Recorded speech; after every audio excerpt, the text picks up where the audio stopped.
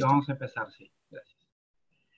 Eh, muy buenas tardes y la más cordial bienvenida a quienes el día de hoy nos acompañan en este webinar sobre el lanzamiento del informe eh, temático Empresas y Derechos Humanos Estándares Interamericanos.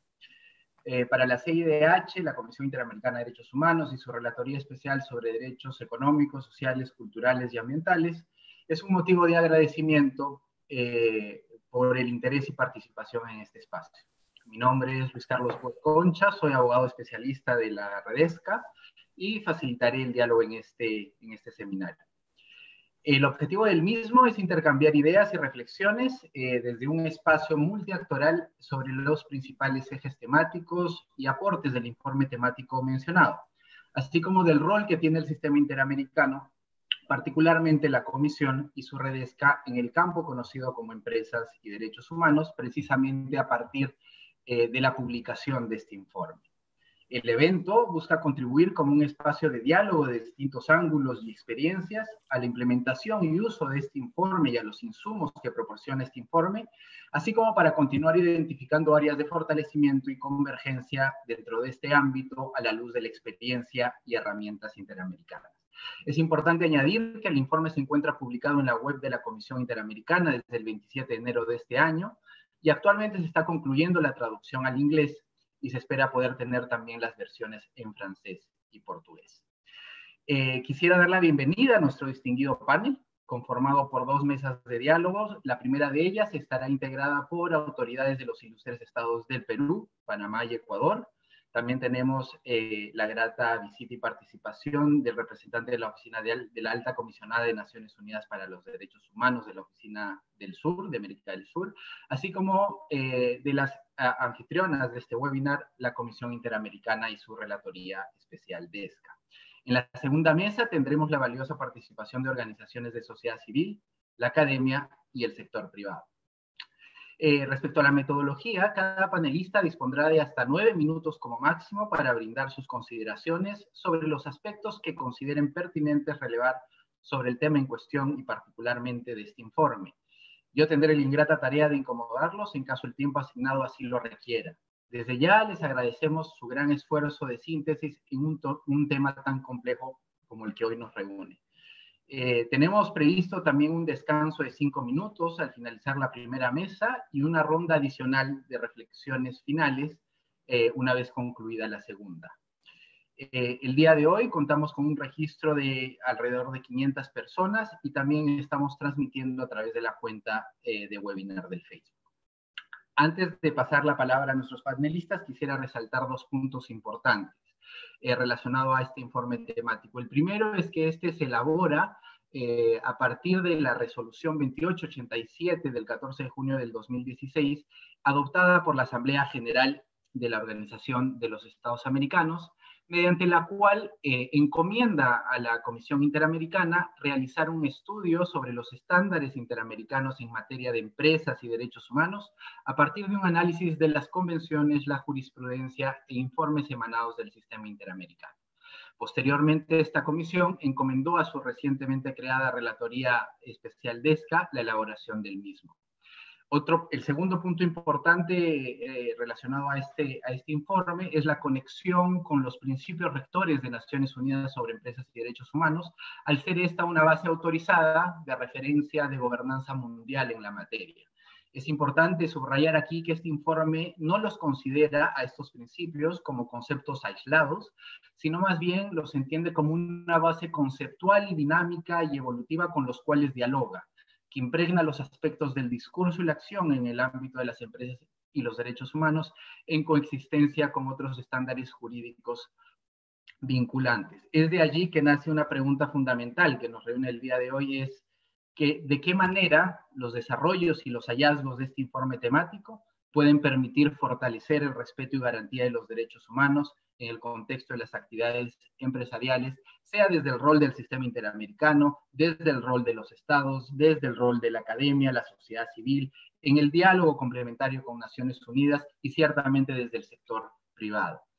Sin más, quisiera presentar a nuestra primera panelista. Ella es la comisionada Antonia Urrejola, Es primera vicepresidenta actualmente de la Comisión Interamericana de Derechos Humanos y relatora sobre los derechos de los pueblos indígenas. Cabe resaltar, además, que la comisionada es abogada por la Universidad de Chile y posee un postítulo en Derechos Humanos, y Justicia Transicional. Comisionada, por favor, tiene la palabra. Muchas gracias, Luis. Bueno, eh, buenas tardes a todas y todos los presentes y todos los que están escuchando. Especialmente quiero saludar Soledad García Muñoz, la relatora de ESCA, a Daniel Sánchez, del Estado peruano, a María Roque Berleón, la embajadora ante Panamá, al embajador Carlos Jativa de Ecuador y también a Jan Harab, representante de la Oficina de la Alta Comisionada para América del Sur. Y también un gran saludo a los panelistas de la segunda mesa también, pero no los menciono porque si no gasto mucho tiempo y puedo hablar menos todo lo que tengo que decir en este tema tan importante. En primer lugar, quiero aprovechar este espacio para poder agradecer y reconocer en nombre de toda la Comisión Interamericana de Derechos Humanos el trabajo de la relatora especial Soledad García Muñoz, que junto a todo el personal técnico que la asiste, han realizado una gran labor para preparar este informe que hoy nos convoca. Igualmente, y muy importante también, ha sido el apoyo económico que ha brindado la Agencia Española de Cooperación Internacional para el Desarrollo, sin el cual no habríamos podido hacer este informe. Como relatora sobre pueblos indígenas, no puedo comenzar esta ponencia sin antes hacer mención a la relación que tiene este tema con los derechos de estos colectivos, los pueblos indígenas, y solo mencionaré una de las tantas posibilidades en este tema respecto a los pueblos indígenas que es la relación entre empresas, medio ambiente y derechos de los pueblos indígenas. Como sabemos, la relación entre los pueblos indígenas y el medio ambiente constituye una relación permanente, interdependiente e inseparable. No se puede concebir la existencia de uno sin el otro. En otras palabras, el vínculo entre el medio ambiente, que puede tener distintas definiciones desde sus propias lenguas y cosmovisiones, y los indígenas es parte integrante de su identidad y es fundamental para garantizar su supervivencia tanto física como cultural.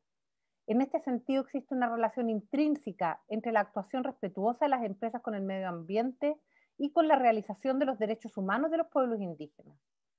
Paralelamente al desarrollo del modelo extractivista que impera en la región, personas y organizaciones defensoras de derechos humanos y ambientales, y entre estos los propios líderes y lideresas indígenas, han impulsado importantes procesos de resistencia frente a actividades económicas que se ejecutan en sus territorios, demandando el respeto y garantía de sus derechos y que estas actividades se hagan de conformidad con los estándares de la consulta previa o del consentimiento previo libre e informado según corresponda. Un elemento central cuando hablamos de empresas y derechos humanos en el ámbito de los pueblos indígenas y tribales. Como sabemos, las actividades y relaciones económicas empresariales se han incrementado y diversificado en la región en los últimos 30 años debido a la mayor globalización de las sociedades y mercados. Al mismo tiempo, las inversiones empresariales son promovidas por la capacidad de generar una alta influencia en el desarrollo económico social en el mundo, ayudar a la reducción de la pobreza y posiblemente coadyuvar al alcance de los objetivos de desarrollo sustentable. Si bien esto ha generado una mayor oferta de bienes y servicios, oportunidades de empleo, ingresos públicos por pago de impuestos y transferencias de nuevas tecnologías y conocimiento, no podemos negar que también esto ha supuesto complejos desafíos en la observancia de los derechos humanos. En muchos casos, las relaciones asimétricas de poder entre empresas y personas o comunidades, incluyendo trabajadores y trabajadoras, así como entre empresas y algunos estados, especialmente aquellos con instituciones más débiles, pueden reforzar las desigualdades ya existentes en la sociedad y al no considerar el respeto a los derechos humanos como obligación básica, se genera el riesgo de sacrificar su disfrute en los sectores más débiles o vulnerables de la población. Por ejemplo, la actual pandemia ha venido a acentuar esta situación y algunas actividades empresariales pueden poner en riesgo el ejercicio de los derechos humanos en este contexto.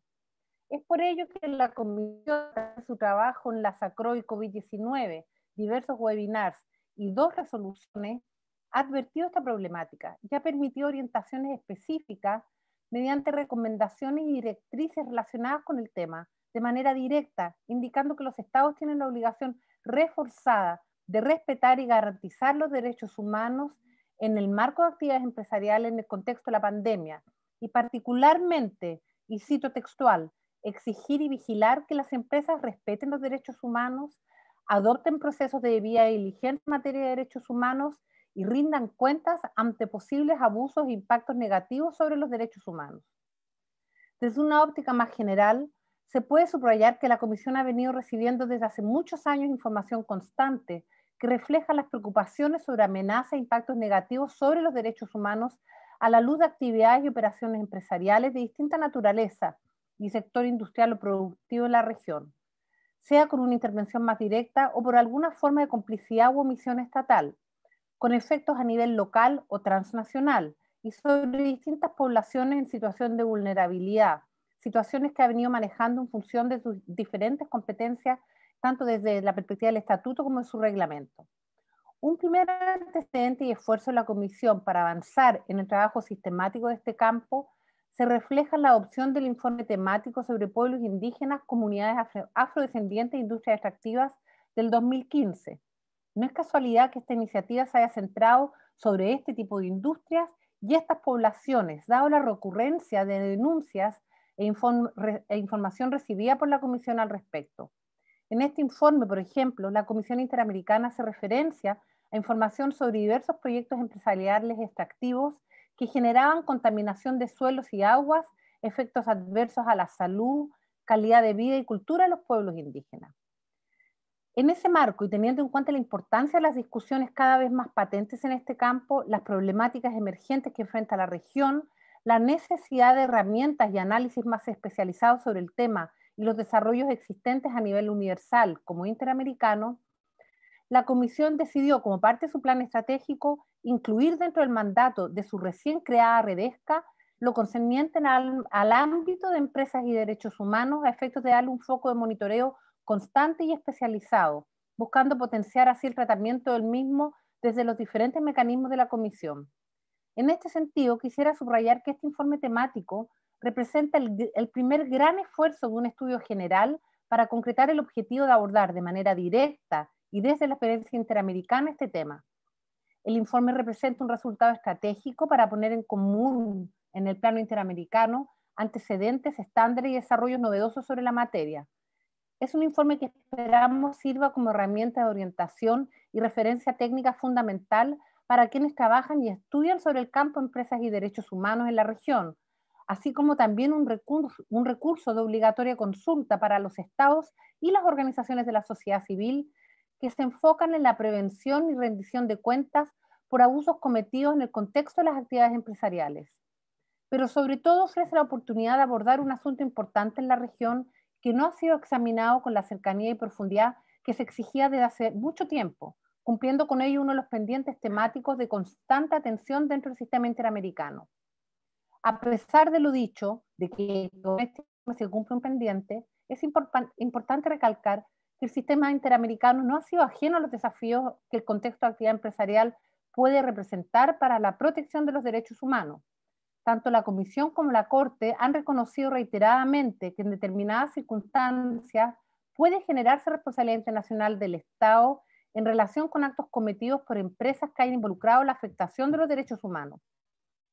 Respecto, puedo mencionar, por ejemplo, en 1993, la Comisión ya hacía referencia a la actuación de las empresas mediante sus informes de monitoreo sobre los derechos humanos.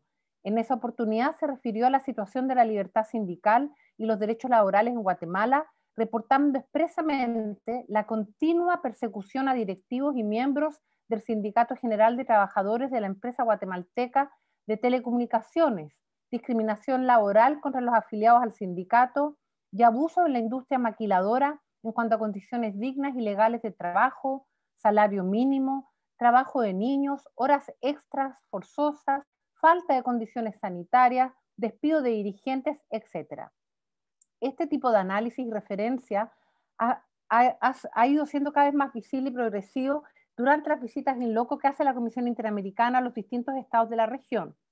También se pueden mencionar diversos asuntos dentro del mecanismo de peticiones y casos que han sido admitidos por la Comisión bajo argumentos que alegan el incumplimiento de obligaciones del Estado por afectación de derechos humanos en relación precisamente con actividades empresariales.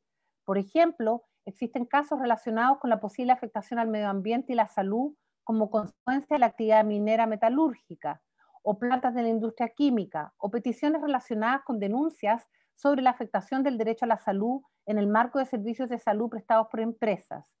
También existen peticiones relacionadas con denuncias por afectaciones a los derechos de pueblos indígenas por actividades empresariales de infraestructura, minería, turismo o hidroeléctricas. Actualmente se encuentra en trámite ante la Corte Interamericana diversos casos que la Comisión ha presentado en que también hay componentes sobre la violación a los derechos humanos en las actividades empresariales y la responsabilidad del Estado. La Corte, por su parte, ha desarrollado importante jurisprudencia relacionada con estos temas.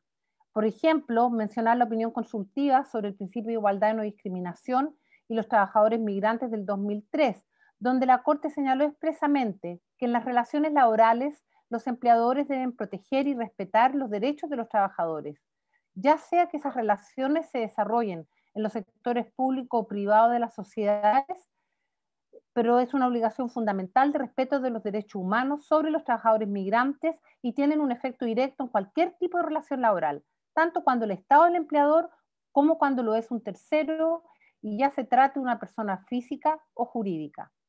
También podemos mencionar el caso de trabajadores de la Hacienda Verde contra Brasil, sobre la temática del trabajo esclavo en tiempos modernos y la actuación de los actores económicos no estatales en este caso. Otro caso muy importante es el de los pueblos indígenas Caliña y Locoño respecto a Surinam, que está relacionado con los impactos de la industria extractiva sobre los pueblos indígenas. O el caso Lagos del Campo, de Perú, el cual involucró la falta de garantías para libertad de expresión, asociación y derechos laborales de un dirigente de los trabajadores en una empresa privada.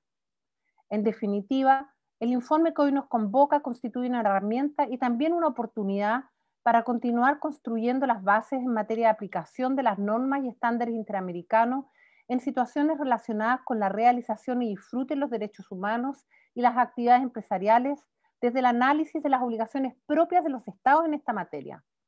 Asimismo, permite empezar a enfrentar temas más novedosos, como por ejemplo, avanzar en contratos conjuntos entre y empresas, de acuerdo a estándares que garanticen igualdad de las partes, avanzar en la aplicación extraterritorial de las obligaciones estatales respecto a empresas transnacionales, o por ejemplo el rol de las empresas como actores en el sistema interamericano de derechos humanos y los efectos de las obligaciones estatales sobre las mismas, o la relación con el ámbito del régimen de inversión y de los organismos multilaterales de crédito, y el rol de estos para exigir a, em, a las empresas y los estados el cumplimiento de la debida diligencia en materia de derechos humanos. En fin, son muchísimos los temas que tenemos hoy para conversar y, y, abordar y por lo tanto llego hasta acá. Muchas gracias por la invitación y felicitaciones de nuevo a la Relatoría de Derechos Económicos, Sociales, Culturales y Ambientales por este informe que me parece que es fundamental y que abre un camino sobre un conjunto de derechos que son además por decirlo de alguna manera, desafíos de estos tiempos modernos, más aún en el actual contexto que vive el mundo respecto del COVID-19. Muchas gracias. Muchísimas gracias, comisionada. Eh, creo que la, presentación que usted nos hace y, las palabras para contextualizar el ámbito de empresas y derechos humanos a través de una mirada telegráfica sobre los antecedentes dentro del sistema interamericano y pronunciamientos estratégicos, además como, eh, digamos, la identificación de espacios novedosos y de importancia para la atención de la Comisión y su relatoría, da un buen espacio para que eh, la siguiente panelista, la relatora especial, Soledad García Muñoz, relatora sobre derechos económicos, sociales, culturales y ambientales, pues nos explique el contenido de este informe. En ese sentido, doy la palabra a Soledad, por favor. Gracias, Luis Carlos. Muy buenas tardes. Un saludo a toda la audiencia, especialmente cordial y agradecida a quienes nos acompañan como panelistas de este evento, vicepresidenta Urrejola, embajador Játiva, embajadora Roquebert, viceministro Sánchez y representante Jan Yaraf. Después saludaré a quienes integrarán el, segundo panel. Es un día realmente importante para el mandato que la Comisión me ha confiado como Redesca y, y en el que estoy iniciando mi segundo término y quisiera empezar esta presentación reiterando nuestros agradecimientos a la Comisión, en primer lugar, por haber confiado en su Relatoría Especial DESCA la tarea de cumplir con el mandato que recibió de la Asamblea General en, el avance y elaboración de un informe de esta naturaleza, el primero en su género del sistema interamericano, que viene así a interamericanizar una temática central para la efectiva vigencia de todos los derechos humanos, ni que decir en tiempos del COVID-19, como bien nos recordaba la comisionada. Reiterar también nuestros agradecimientos de manera profunda y especial a todos los estados, organizaciones de la sociedad civil, representantes de la academia y otros actores interesados que participaron de las diversas actividades organizadas por la Redesca para la elaboración de este informe. Desde la Relatoría Especial, uno de los principios fundamentales de procedimiento fue velar por mantener amplios espacios de diálogo y colaboración con la mayor gama posible de partes interesadas, como también reconocer las oportunidades y desafíos que el abordaje de este campo trae a nuestro hemisferio. De allí que destaque la importancia y utilidad de los insumos obtenidos mediante innumerables talleres, eventos, reuniones de trabajo, audiencias públicas, cuestionarios abiertos y consultas de expertos y expertas para este fin. En ese mismo marco no puedo dejar de mencionar también mis agradecimientos al soporte financiero de la Agencia Española de Cooperación Internacional para el Desarrollo a través del Fondo Español para la OEA, que nos permitió sustentar tales actividades y tareas, así como también, obviamente, extender mis reconocimientos más ah, agradecimientos muy profundos a la labor del equipo profesional de la relatoría en la elaboración de este informe y muy especialmente a nuestro moderador de hoy, el abogado Luis Carlos Concha. Dicho ello, quisiera resaltar que este informe se centra principalmente en dar una primera aproximación a algunos temas que la Comisión y su redesca han identificado como nucleares para este ámbito a partir de la experiencia y contexto interamericano, así como sentar bases comunes generales para el continuo desarrollo de la temática de manera cada vez más profunda a través de los mecanismos del sistema interamericano, en complemento con los pasos dados a nivel universal. En este mismo marco también es necesario subrayar que las empresas pueden y deben ser agentes positivos para el respeto y garantía de los derechos humanos, generar o motivar cambios claves en este ámbito y dar el ejemplo para transformar experiencias de impunidad y abuso sobre derechos humanos en experiencias de efectivo respeto de los mismos.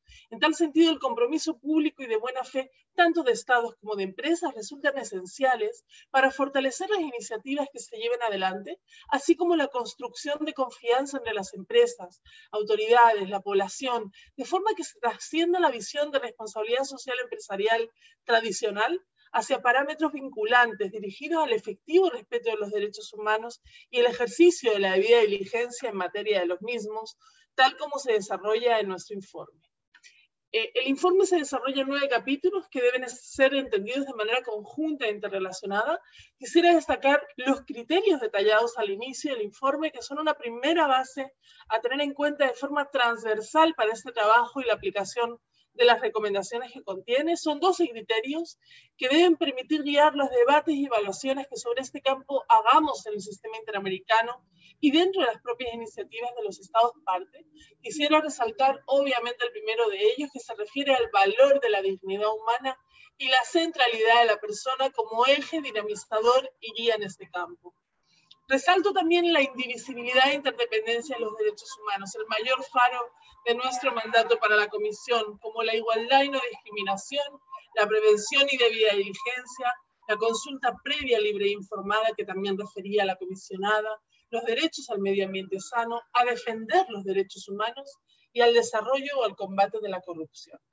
El capítulo 3, por su parte, contiene una parte central y sustantiva del informe, puesto que se refiere a las obligaciones de los estados en materia de derechos humanos en el contexto de las actividades empresariales, reconociéndose la capacidad de agentes no estatales de afectar negativamente el gozo y ejercicio de los derechos como fundamento de la exigencia de actuaciones de los estados para prevenir o responder a tales impactos y para de esa manera adecuar de manera a proteger de manera adecuada la dignidad y las libertades fundamentales de las personas y de los pueblos. El informe tiene en cuenta las obligaciones generales de los estados de respetar y garantizar los derechos humanos desarrolladas en extenso dentro del sistema interamericano y ciertamente es un capítulo central del informe. Por su parte, los capítulos 4 y 5 desarrollan temas si bien complejos, también claves y de constante y necesario diálogo en este ámbito, como son los de la aplicación extraterritorial de las obligaciones de los estados y los efectos de las obligaciones estatales en el comportamiento de las empresas.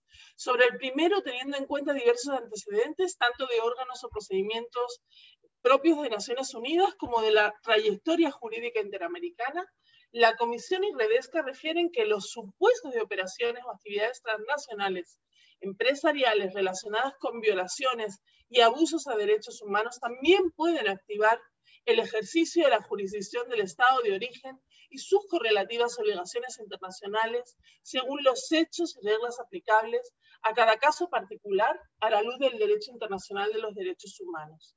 Asimismo, el capítulo destaca el deber de los estados de cooperar como principio aplicable y norma de conducta en estos supuestos por las características propias de las actividades empresariales transnacionales y sus efectos sobre los derechos humanos. En el capítulo quinto, el informe concluye que si bien son los estados quienes originariamente asumen de forma directa las obligaciones internacionales en materia de derechos humanos, las empresas tienen la capacidad fáctica de incidir en forma directa y en algunos casos decisiva en su realización. Por ello que para la Comisión y Redesca esta situación no puede ser disociada o ignorada en la aplicación e interpretación del contenido normativo de cada uno de los derechos internacionalmente protegidos. Otra de las contribuciones que hacemos en el informe está en el capítulo 6, que abarca seis contextos de especial atención. Si bien en alguno de ellos existirían precedentes muy relevantes, el informe ayuda a sistematizarlos, a conocer los desafíos principales, a actualizar esos desafíos, como también a brindar parámetros para abordarlos. En este punto yo quisiera mencionar que todos ellos merecen una enunciación al menos por la relevancia de su actualidad. Eh, nos referimos en ese capítulo a, la rendición de cuentas de actores económicos en procesos de justicia transicional, a los contextos de privatización de servicios esenciales para los derechos humanos, a la relación de las actividades empresariales con el cambio climático y la degradación ambiental. Y en ese sentido, este informe también innova desde la Comisión por ser el primero que se refiere a esa temática tan urgente de nuestra vida, de nuestra sociedad y nuestro mundo las políticas fiscales del Estado y las prácticas tributarias empresariales que pueden afectar los derechos humanos, el ámbito de las tecnologías de la información y comunicación y otros contextos relevantes como el relacionado con los acuerdos internacionales de inversión y comercio o las prácticas de instituciones multilaterales de crédito e inversión. Por otro lado, el capítulo 7 pone el foco de atención en aquellas personas o grupos que se encuentran en situaciones de particular vulnerabilidad y cómo las actividades empresariales pueden impactar el disfrute de sus derechos de forma interseccional. Tales grupos suelo enunciarlos, porque no, no tengo tiempo para más, son las personas defensoras de derechos humanos, las mujeres, los pueblos indígenas, afrodescendientes y campesinado, la niñez y adolescencia, las personas privadas de libertad, las personas en contexto de movilidad humana, las personas LGTBI, las personas con discapacidad y las personas adultas mayores. Creo que también es un gran aporte de nuestro informe.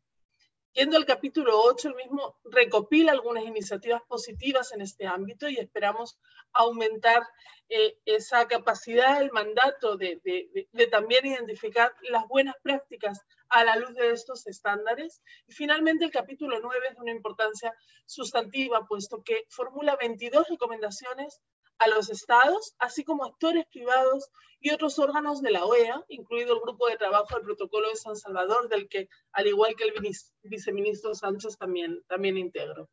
La Redesca viene dando seguimiento cercano a la implementación de estas recomendaciones. Quisiera concluir mi presentación poniendo énfasis en nuestra disposición y en la necesidad de trabajar con los estados muy estrechamente, como ya lo, hemos, lo estamos empezando a hacer, por ejemplo, con, con Perú y con, con Ecuador acá presente en relación con sus planes nacionales de acción en la materia, con los diversos poderes de los estados, con las instituciones nacionales de derechos humanos, con la propia OEA, por supuesto, y el Sistema Universal de Derechos Humanos también representado en este panel. Para implementar estas recomendaciones, como también quisiera expresar la disposición de, de, esta para seguir avanzando en estudios más específicos sobre áreas de particular interés que surjan el informe, estamos eh, ya generando nuevos materiales de promoción, de difusión, de capacitación con base en el mismo, por lo que estamos realmente a completa disposición para coordinar presentaciones del informe en sus estados o instituciones, para coordinar programas de capacitaciones, tanto a, a, a funcionarias, funcionarios, empresas, sociedad civil, Alentamos la cooperación para el desarrollo de nuevas herramientas y de estudios temáticos relacionados con, con este campo a partir de, de este informe, porque queremos que este informe sea más que un documento. Queremos que sea una herramienta viva y útil en una materia ciertamente central y que, como lo ha dicho la Comisión en su resolución 1 2020, conlleva que los estados deben adoptar medidas reforzadas en su debida diligencia para proteger los derechos humanos frente a actividades empresariales en estos tiempos tan difíciles de pandemia que vivimos. Muchísimas gracias. Muchísimas gracias, Soledad. Eh, tu participación y presentación también creo que permite dar una visión general y muchas gracias por la capacidad de resumen de, más de 200 páginas de, del informe. Esto, esto permite eh, abonar al diálogo precisamente ahora con eh, nuestros y nuestras invitadas. Eh, ahora tengo el gusto de presentar al señor eh, Daniel Sánchez. Él es viceministro de Derechos Humanos y Acceso a la Justicia de Perú. Es abogado por la Pontificia Universidad Católica del Perú. También posee una maestría en Derecho Constitucional por la Universidad de Sevilla e integra como experto el grupo de trabajo del Protocolo de San Salvador de la Organización de los Estados Americanos. Por favor, viceministro, usted tiene la palabra. Muchas gracias, Luis Carlos. Muy buenas tardes con, con todas y todas. Un saludo especial a Antonio Rojola, vicepresidente de la CIDH, por supuesto a los embajadores presentes en, en, esta tarde de conversación y un cariñoso y afectuoso saludo a, Soledad García, relatora DESCA de la CIDH y, como ha dicho, compañera hasta hace poco de carpeta en el tema del GTPS, ahora compañera de casillas virtuales en, en los diversos espacios de Zoom que compartimos. Así que muy agradecido por haberme invitado a, dar algunas unas palabras en este espacio. Y sin lugar a dudas a, a, los amigos que vienen acompañando este proceso peruano, como Jan Yarab, Humberto Cantú, con el cual hemos recibido a lo largo de estos 18 meses que el Perú viene trabajando su primer plan de empresas y derechos humanos, la asistencia técnica del Alto Comisionado de Naciones Unidas, de expertos independientes, de académicos, la buena disposición que hoy día ha señalado muy bien la, la vicepresidenta Rejola y, y, la relatora Desca en relación a brindarnos la asistencia técnica y sobre todo el acompañamiento que tanto se necesita en procesos cuando son novedosos y complejos por los múltiples actores que, que se representan y que muchas veces, como voy a tratar de explicar en, en esta breve presentación, el camino es lo importante, creo yo, ¿no? el, el proceso, iniciar ese espacio de diálogo, lamentablemente todavía no unas una fuerte corriente deliberativa que tenemos dentro de nuestros estados, pero creo yo que el que sentemos a múltiples actores a conversar ya es un paso ganado y un paso importante en esta materia. ¿no? Eh, yo quería antes de iniciar, por supuesto, en mis primeras palabras de felicitación a este informe realizado por un conjunto de especialistas, pero liderado por, por, por Soledad, porque creo yo que ha sido también fundamental en el, la oportunidad en que se lanzó para el proceso peruano. Eh, creo que hay dos grandes reflexiones que, que a propósito de, del informe, ahí me gustaría destacar. ¿no? Una primera que ha centrado el tema de la relación de empresas con los derechos humanos en las personas y sus derechos. Eso creo que es, es fundamental, porque muchas veces las empresas en su discurso han estado asociado al lucro, a las finanzas, al tema comercial, y es parte, digamos, de, de su elemento de diálogo constante y la relación con eh, la con las personas, con la población, pero que el informe les recuerde que el centro es la dignidad, las personas y sus derechos, creo que eso es un elemento central a destacar y fundamental. Y uno segundo, que también ha servido de ejemplo para el proceso peruano, eh, es el tema de la participación. Esto que nos comentaba Soledad, de que ha tenido infinidad de espacios de trabajo, ha sido una guía también y que ha permitido sintonizar de manera adecuada con el caso peruano. ¿no? Nosotros hemos desarrollado una metodología multiactor que tiene a más de 130 instituciones interesadas en el tema de diversa índole, desde instituciones estatales, instituciones de, vinculadas a las propias empresas, pueblos indígenas, sindicatos, sociedad civil, la propia cooperación internacional. En fin, hay un conjunto de actores que creo yo que en estas más de casi 300 reuniones bilaterales y multilaterales que hemos tenido en estos 18 meses, creo que es un elemento de participación que tenemos que rescatar y resaltar. Y yo ahí resaltaba esto que, señalaba al inicio, ¿no? El propio espacio ya es un, un, elemento que nos permite decir que estamos ganando, ¿no? No sabemos todavía los resultados porque el proceso nuestro está en plena marcha, pero estamos seguros que este paso inicial que se ha dado a lo largo de este tiempo, acercando posiciones y a veces divergentes, por supuesto, ha generado yo creo en la lógica que señalaba el informe de la Redesca, un elemento importante y que puede ser replicado y debería ser replicado como un estándar internacional en materia de empresas y derechos humanos. La, mayor participación posible para poder generar determinados consensos y también establecer los disensos en los cuales no necesariamente vamos a ponernos de acuerdo en inmediato, pero que forman parte de una tarea que tendremos que ir hacia adelante trabajando. Pero además de estos dos elementos que me parecen fundamentales del informe, yo sí quería resaltar otros dos elementos del caso peruano que me parecen importantes y que pueden servir de alguna manera de aliento a otros estados que están trabajando estos temas. ¿no? El primero creo yo que es la voluntad política, decir, que desde las principales autoridades del país entiendan que esto es una materia de política general de gobierno. En nuestro caso, eh, felizmente, ha sido ratificado por el presidente de la República y nuestro primer ministro en, las presentaciones de gobierno, que esto es un eje importante y necesario en la relación que tenemos que tener en materia de derechos humanos. Y eso creo que ha sido una guía angular y un pilar fundamental para que se vaya decantando en todo este proceso largo porque muchas veces cambian los funcionarios, cambian los ministros, cambian las posiciones, pero si ya es una política de Estado, esta se mantiene y va a permitir tener una, un producto importante y una mirada sobre el particular, eh, digamos, exitosa. Y el segundo elemento que me gustaría destacar es, creo yo, que eh, es este diálogo de buena fe y basado en evidencias.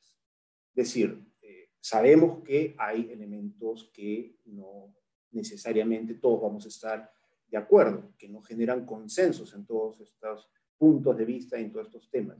Pero creo yo que si se transparenta y si sobre todo estas posiciones e intereses se basan en evidencia, como fue en el caso peruano, nosotros eh, comenzamos a trabajar con diversas universidades, de las más importantes del Perú, determinados diagnósticos en los temas que habíamos identificado que, eran, que iban a ser parte del plan de empresas y derechos humanos.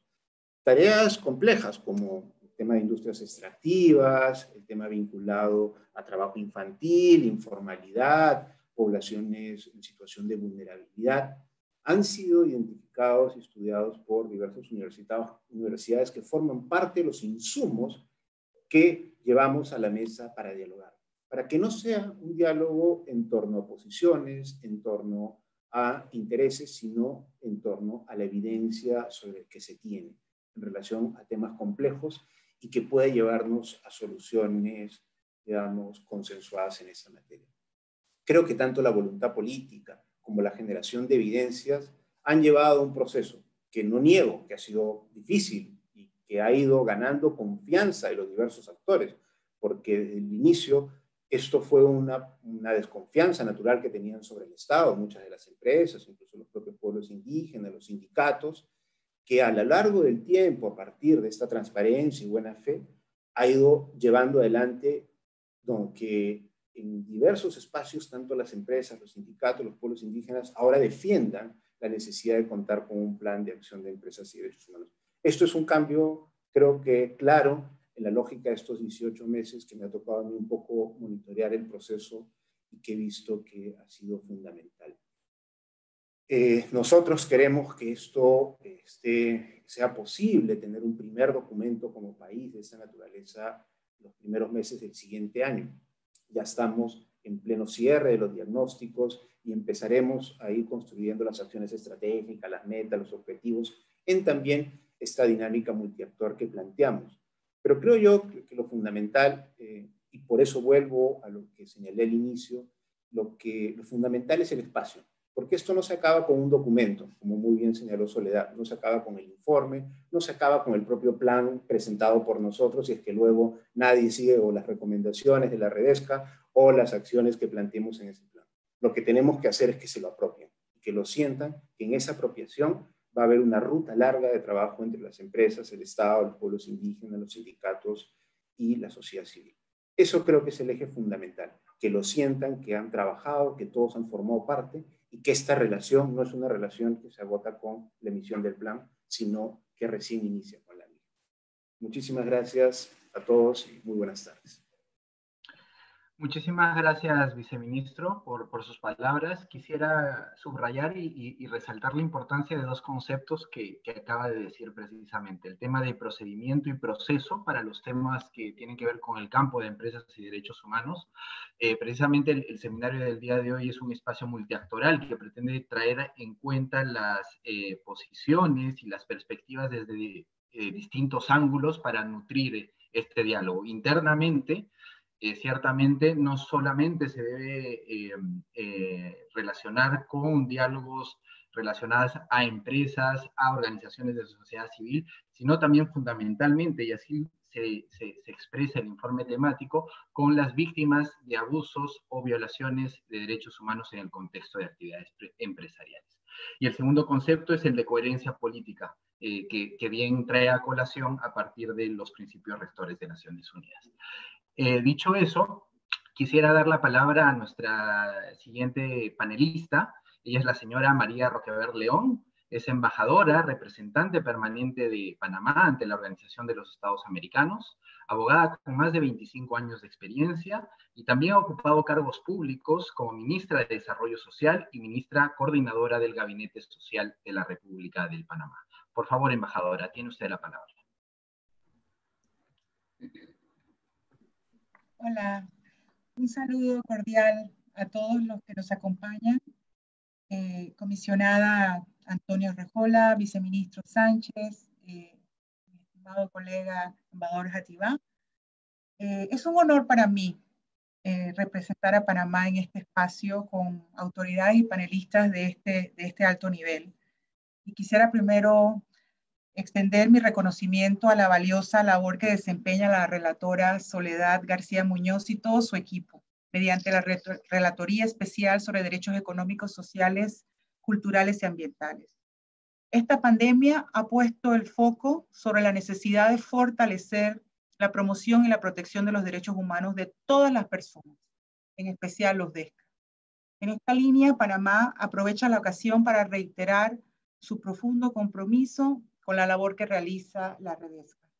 Agradezco también la invitación a participar de este distinguido panel con, una, con un tema de gran relevancia para Panamá que impulsa ahora una fase de recuperación económica de la pandemia con una fuerte apuesta a nueva inversión a través de nuestra competitiva plataforma para sedes de empresas multinacionales. Resaltamos el contenido del informe presentado, la idea de que el desarrollo en todos sus ámbitos debe darse en el marco del respeto y la garantía de los derechos humanos, no solo de los colaboradores que participan en la producción, sino también de la comunidad que acoge la empresa y que es responsabilidad del Estado vigilar que así ocurra, es altamente apreciado.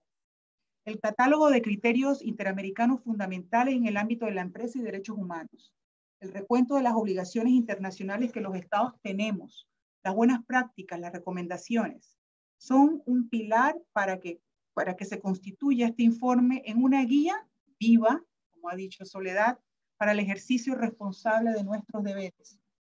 Más oportuno no podía ser. El 4 de febrero de este año, Panamá presentó el Plan Nacional de Responsabilidad Social Público-Privado y Derechos Humanos, siendo el primer país en Centroamérica en contar con un instrumento como este. El plan apunta a consolidar esfuerzos conjuntos a través de la colaboración de todos los sectores del país, mediante la conformación de alianzas público-privadas en torno a intereses comunes que generen beneficios sociales, ambientales y económicos para el desarrollo colectivo del país y la construcción de una ciudadanía plena. Panamá tiene claro que es un objetivo estratégico alinearse con el desarrollo humano integral y con las tendencias y exigencias de mercados más desarrollados para que su oferta exportable sea más atractiva a mejores negocios, inversiones y empresas que conozcan y valoren lo que implica ser un país que promueve, más allá de la responsabilidad social empresarial, los derechos humanos, el desarrollo sostenible y la transparencia en todo lo que hace. Panamá tiene claro que esta es la manera correcta de hacer negocios.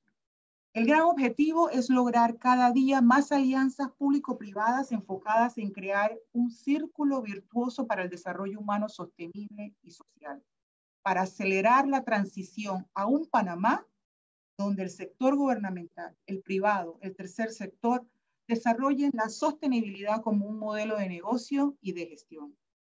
Panamá ya venía mostrando importantes avances en materia de responsabilidad social empresarial, sustituyendo el tradicional concepto filantrópico y de relaciones públicas con un plan nacional de responsabilidad social público-privado de derechos humanos. Se consolidan estos avances con un claro enfoque de derechos humanos. Quisiera ahora brevemente referirme por el tiempo a una sección del informe que trata sobre la centralidad de las víctimas y los impactos diferenciados sobre poblaciones en situación de vulnerabilidad. Primeramente, para celebrar que la Redesca haya incluido una sección específica sobre este tema por su importancia y vigencia en estos momentos de pandemia. En todos los ámbitos resulta fundamental visibilizar los impactos diferenciados que se tienen sobre las poblaciones que ya se encuentran en situación de vulnerabilidad, como es el caso de, de las mujeres. Yo no me cansaré de decir que es inconcebible que siendo las mujeres la mitad de la población, se debe insistir en la situación de vulnerabilidad estructural en la que nos encontramos.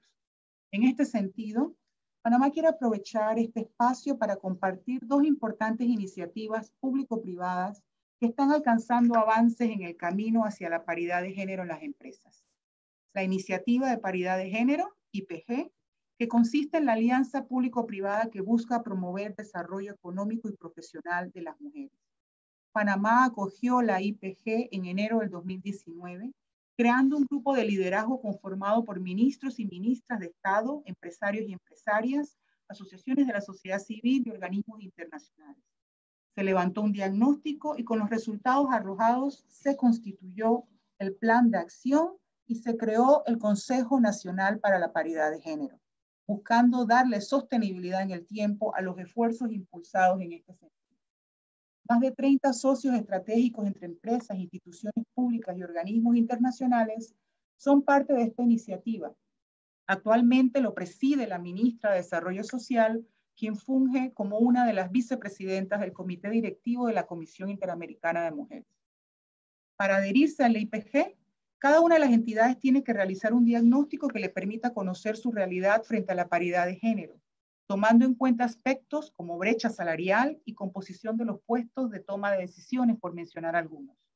Tras el diagnóstico, cada entidad define un plan de acción con metas específicas para superar los desafíos que hayan sido identificados, así como proyectos que puedan contribuir a alcanzar la igualdad de género entre las comunidades. Lo segundo, el Ministerio de Desarrollo de Trabajo y Desarrollo Laboral de Panamá tiene a su, cargo, el proyecto denominado Sello de Igualdad de Género en empresas privadas e instituciones públicas. El sello es una certificación que se le otorga a aquellas entidades que alcanzan estándares definidos para promover la igualdad de género en el lugar de trabajo específicamente el empoderamiento y la autonomía económica de las mujeres. Esta herramienta ha puesto en evidencia el rol clave que puede jugar el sector privado en la creación de condiciones igualitarias para hombres y mujeres. A las empresas específicamente les permite sostener espacios laborales más eficientes, igualitarios, que repercuten positivamente en el desempeño de su personal. Hago mención de estos dos ejemplos porque son fiel muestra de lo antes expresado. El desarrollo a través de las empresas y los derechos humanos de los ciudadanos puede perfectamente coexistir en armonía bajo la supervisión del Estado. La implementación del Plan Nacional de Responsabilidad Social Público-Privado de Derechos Humanos es una prioridad para el gobierno nacional y lo lidera el ministro de Comercio e Industrias, quien el mes pasado, por ejemplo, participó en el quinto foro regional sobre empresas y derechos humanos de Naciones Unidas. Esto es una novedad, como sabemos, que sea el ministro de Comercio e Industrias el encargado de un plan de esta envergadura. La presentación de este informe llega en una etapa crucial en la que necesitamos el apoyo de actores e instrumentos que puedan sumarse a cumplir con nuestro propósito. Nuevamente, mis felicitaciones a la relatora Soledad García Muñoz por su sentido de oportunidad y el valioso contenido que pone a disposición de los Estados miembros. En esta línea, también puedo compartir Panamá ha tenido acercamientos con el Ecuador precisamente en la búsqueda de generar intercambio de buenas prácticas, experiencias y explorar oportunidades de cooperación bilateral. La CIDH, mediante la publicación de este informe, dio cumplimiento al mandato de la Asamblea General de la OEA. Ayer culminamos el quincuagésimo periodo de sesiones de la Asamblea General, la primera virtual de la historia. Quiero finalizar reiterando el compromiso de Panamá con la CIDH y compartiendo la idea presentada ayer por nuestro canciller Alejandro Ferrer. La pandemia cambió el mundo que conocíamos nos ha trazado nuevos retos muy desafiantes. Ha develado las deudas del pasado, pero asimismo nos ha dado la oportunidad de trabajar unidos para construir un mundo mejor, de solidaridad y cooperación, donde los derechos humanos de todas las personas sean nuestro centro. Para lograr esto necesitamos generar alianzas e ir juntos tras ese objetivo. Muchas gracias por la oportunidad de compartir esto. Muchísimas gracias, eh, embajadora. Yo quisiera resaltar únicamente eh, las reflexiones que hacía eh, relativas a la transición de lo que se conocía o lo que se conoce como responsabilidad social empresarial, que evoca más un comportamiento filantrópico, digamos, o, o voluntario, a, uno, a un régimen y a un marco en que efectivamente las empresas respeten los derechos humanos. De hecho, ese es uno de los objetivos eh, y líneas básicas a través de los cuales este, eh, dialogamos en la elaboración de este informe. Eh, ahora, quisiera dar, ahora quisiera presentar, tengo el gusto de presentar al, al señor embajador Carlos Játiva, él es representante permanente del Ecuador ante la Organización de los Estados Americanos, posee una larga trayectoria en el servicio diplomático de su país, así como un doctorado en jurisprudencia por la Pontificia Universidad Católica del Ecuador. Embajador, tiene usted la palabra. Muchas gracias, Luis. Y quiero primero saludar a los panelistas, comisionada Antonia Orejola, nuestra relatora para el Ecuador, a mi colega, la embajadora María Rockberg, y al viceministro Daniel Sánchez y al señor Jean Jarab. Y quiero sobre todo agradecer a, la señora Soledad García, mi, nuestra apreciada amiga, por la invitación de la Laboratorio Especial sobre los Derechos Económicos, Sociales, Culturales y Ambientales, REDESCA, para participar en el lanzamiento virtual del informe temático sobre empresas y derechos humanos estándares interamericanos. Ya en noviembre del año pasado, con motivo de la tercera edición del tercer foro del Sistema Interamericano de Derechos Humanos que se celebró en Quito, tuve la satisfacción de acompañar a Soledad al lanzamiento eh, del informe temático la posición del Ecuador en la materia de empresas y derechos humanos se basa en dos conceptos quizá fundamentales. Primero, en el marco del compromiso inequívoco con la protección y garantía de los derechos humanos.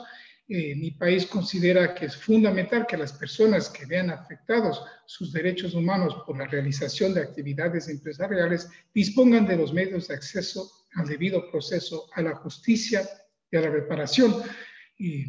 Fomentando al mismo tiempo que las inversiones obedezcan a estándares de calidad y respeto a los derechos humanos. Y un segundo aspecto igualmente importante, mi país mantiene una visión objetiva y equilibrada acerca de la elaboración e implementación de estándares internacionales relativos a la necesidad de garantizar los derechos humanos en el marco de la realización de actividades empresariales. En cuanto al trabajo del Ecuador en la temática de empresas y derechos humanos, debo señalar que sobre la base de una visión integral, eh, eh, hemos venido trabajando en dos ejes que se complementan y se refuerzan entre sí. Un primer eje que busca impulsar propuestas obligatorias, tales como leyes nacionales o normativa internacional aplicable a la materia. En este ámbito, con el auspicio del Ecuador y de Sudáfrica, el 26 de junio de 2014, el Consejo de Derechos Humanos de las Naciones Unidas adoptó la resolución 26.9 titulada Elaboración de un instrumento internacional jurídicamente vinculante sobre las empresas transnacionales y otras empresas con respecto a los derechos humanos. El Consejo de Derechos Humanos confió este mandato a un grupo de trabajo intergubernamental de composición abierta constituido por esa misma resolución que el Ecuador ha presidido desde su inicio. Ahora, ahora bien, la iniciativa del instrumento jurídicamente vinculante tiene por objeto fomentar las inversiones bajo estándares de calidad, especialmente en los países en desarrollo, así como establecer en forma pragmática y equilibrada normas obligatorias que sean claras y generales en materia de derechos humanos con relación a esas actividades empresariales como forma de proteger a posibles eventuales víctimas y mejorar su acceso a la justicia y a la reparación en caso de abusos. Asimismo, la preparación del convenio permitirá, a nuestro juicio, igualar las condiciones de competencia en todos los países. Sin duda, esta iniciativa beneficiará a las empresas y a los consumidores y dotará a las posibles víctimas de una herramienta para hacer valer sus derechos. Entre los objetivos principales que informan la posición del Ecuador en esta temática eh, figuran los siguientes. Uno, proporcionar a las víctimas o potenciales víctimas de los abusos corporativos herramientas legales internacionales vinculantes para obtener justicia y reparación ante las infracciones eventuales que pudieran cometer empresas transnacionales. Llenar un importante vacío en la normativa internacional de los derechos humanos que el informe precisamente de la Redesca ilustra claramente, enfocarse en la protección de los derechos humanos sin distinción entre ellos y establecer líneas para promover que la inversión de las empresas sean de calidad y respetuosas de los derechos humanos y del ambiente. Ahora, desde el 2015, como decía hace un momento, el grupo de trabajo encargado de elaborar el instrumento jurídicamente vinculante, que ha sido presidido por el Ecuador, ha celebrado cinco sesiones anuales, cada una de una semana de duración. En las dos primeras se deliberó sobre el contenido, alcance, naturaleza y forma del instrumento, y en la tercera se presentó un documento de elementos como base para las negociaciones. En la cuarta sesión, la presidencia ecuatoriana sometió un proyecto cero de instrumento principal junto con un protocolo adicional. Y en la quinta sesión presentó un borrador, el RED 1, que incluye los primeros aportes de los estados. En la próxima sesión, la sexta del grupo de trabajo que se va a realizar la semana entrante en Ginebra del 26 al 30 de octubre, de octubre se efectuarán negociaciones intergubernamentales directas en base de la segunda versión revisada del instrumento vinculante, la revisión 2, cuyo lanzamiento se efectuó ya el 7 de agosto pasado. A medida que este proceso ha avanzado, hemos constatado que se ha evidenciado un incremento en la asistencia e interés de los países, en particular tras la presentación del borrador cero de texto en julio de 2018, con una concurrencia promedio de cerca de 100 estados y 400 representantes de la sociedad civil, organismos internacionales, parlamentarios, academias, sector privado, sindicatos y otros actores relevantes. Son cifras que tienen, no tienen precedentes eh, para un grupo de trabajo del Consejo de Derechos Humanos de las Naciones Unidas. De ahí la importancia y significado del tema. Y quiero aprovechar para agradecer a los países de la región, de nuestra región interamericana, que han mantenido una participación constructiva y les reitero la invitación a contribuir en este proceso que nosotros consideramos histórico de creación del derecho internacional. Y el segundo eje consiste en apoyar la aplicación, el diseño y aplicación de instrumentos voluntarios, el soft law, si se puede llamar de alguna manera, sobre los cuales el Ecuador ha manifestado su utilidad de manera reiterada en la práctica como herramienta de prevención que apunta a que el sector privado respete voluntariamente los derechos humanos en el desarrollo de sus actividades. En esta línea, el Ecuador participa desde julio de 2019 en el proyecto conjunto sobre conducta empresarial responsable en América Latina y el Caribe, este proyecto que se llama CERALC implementado por la OCDE, la OIT y la Oficina de la Alta Comisionada de las Naciones Unidas para los Derechos Humanos con el diseño y financiamiento de la Unión Europea. Y con el apoyo de este proyecto, el Ecuador priorizará la elaboración de un plan de acción nacional en materia de empresas y derechos humanos, al que me referiré en unos instantes.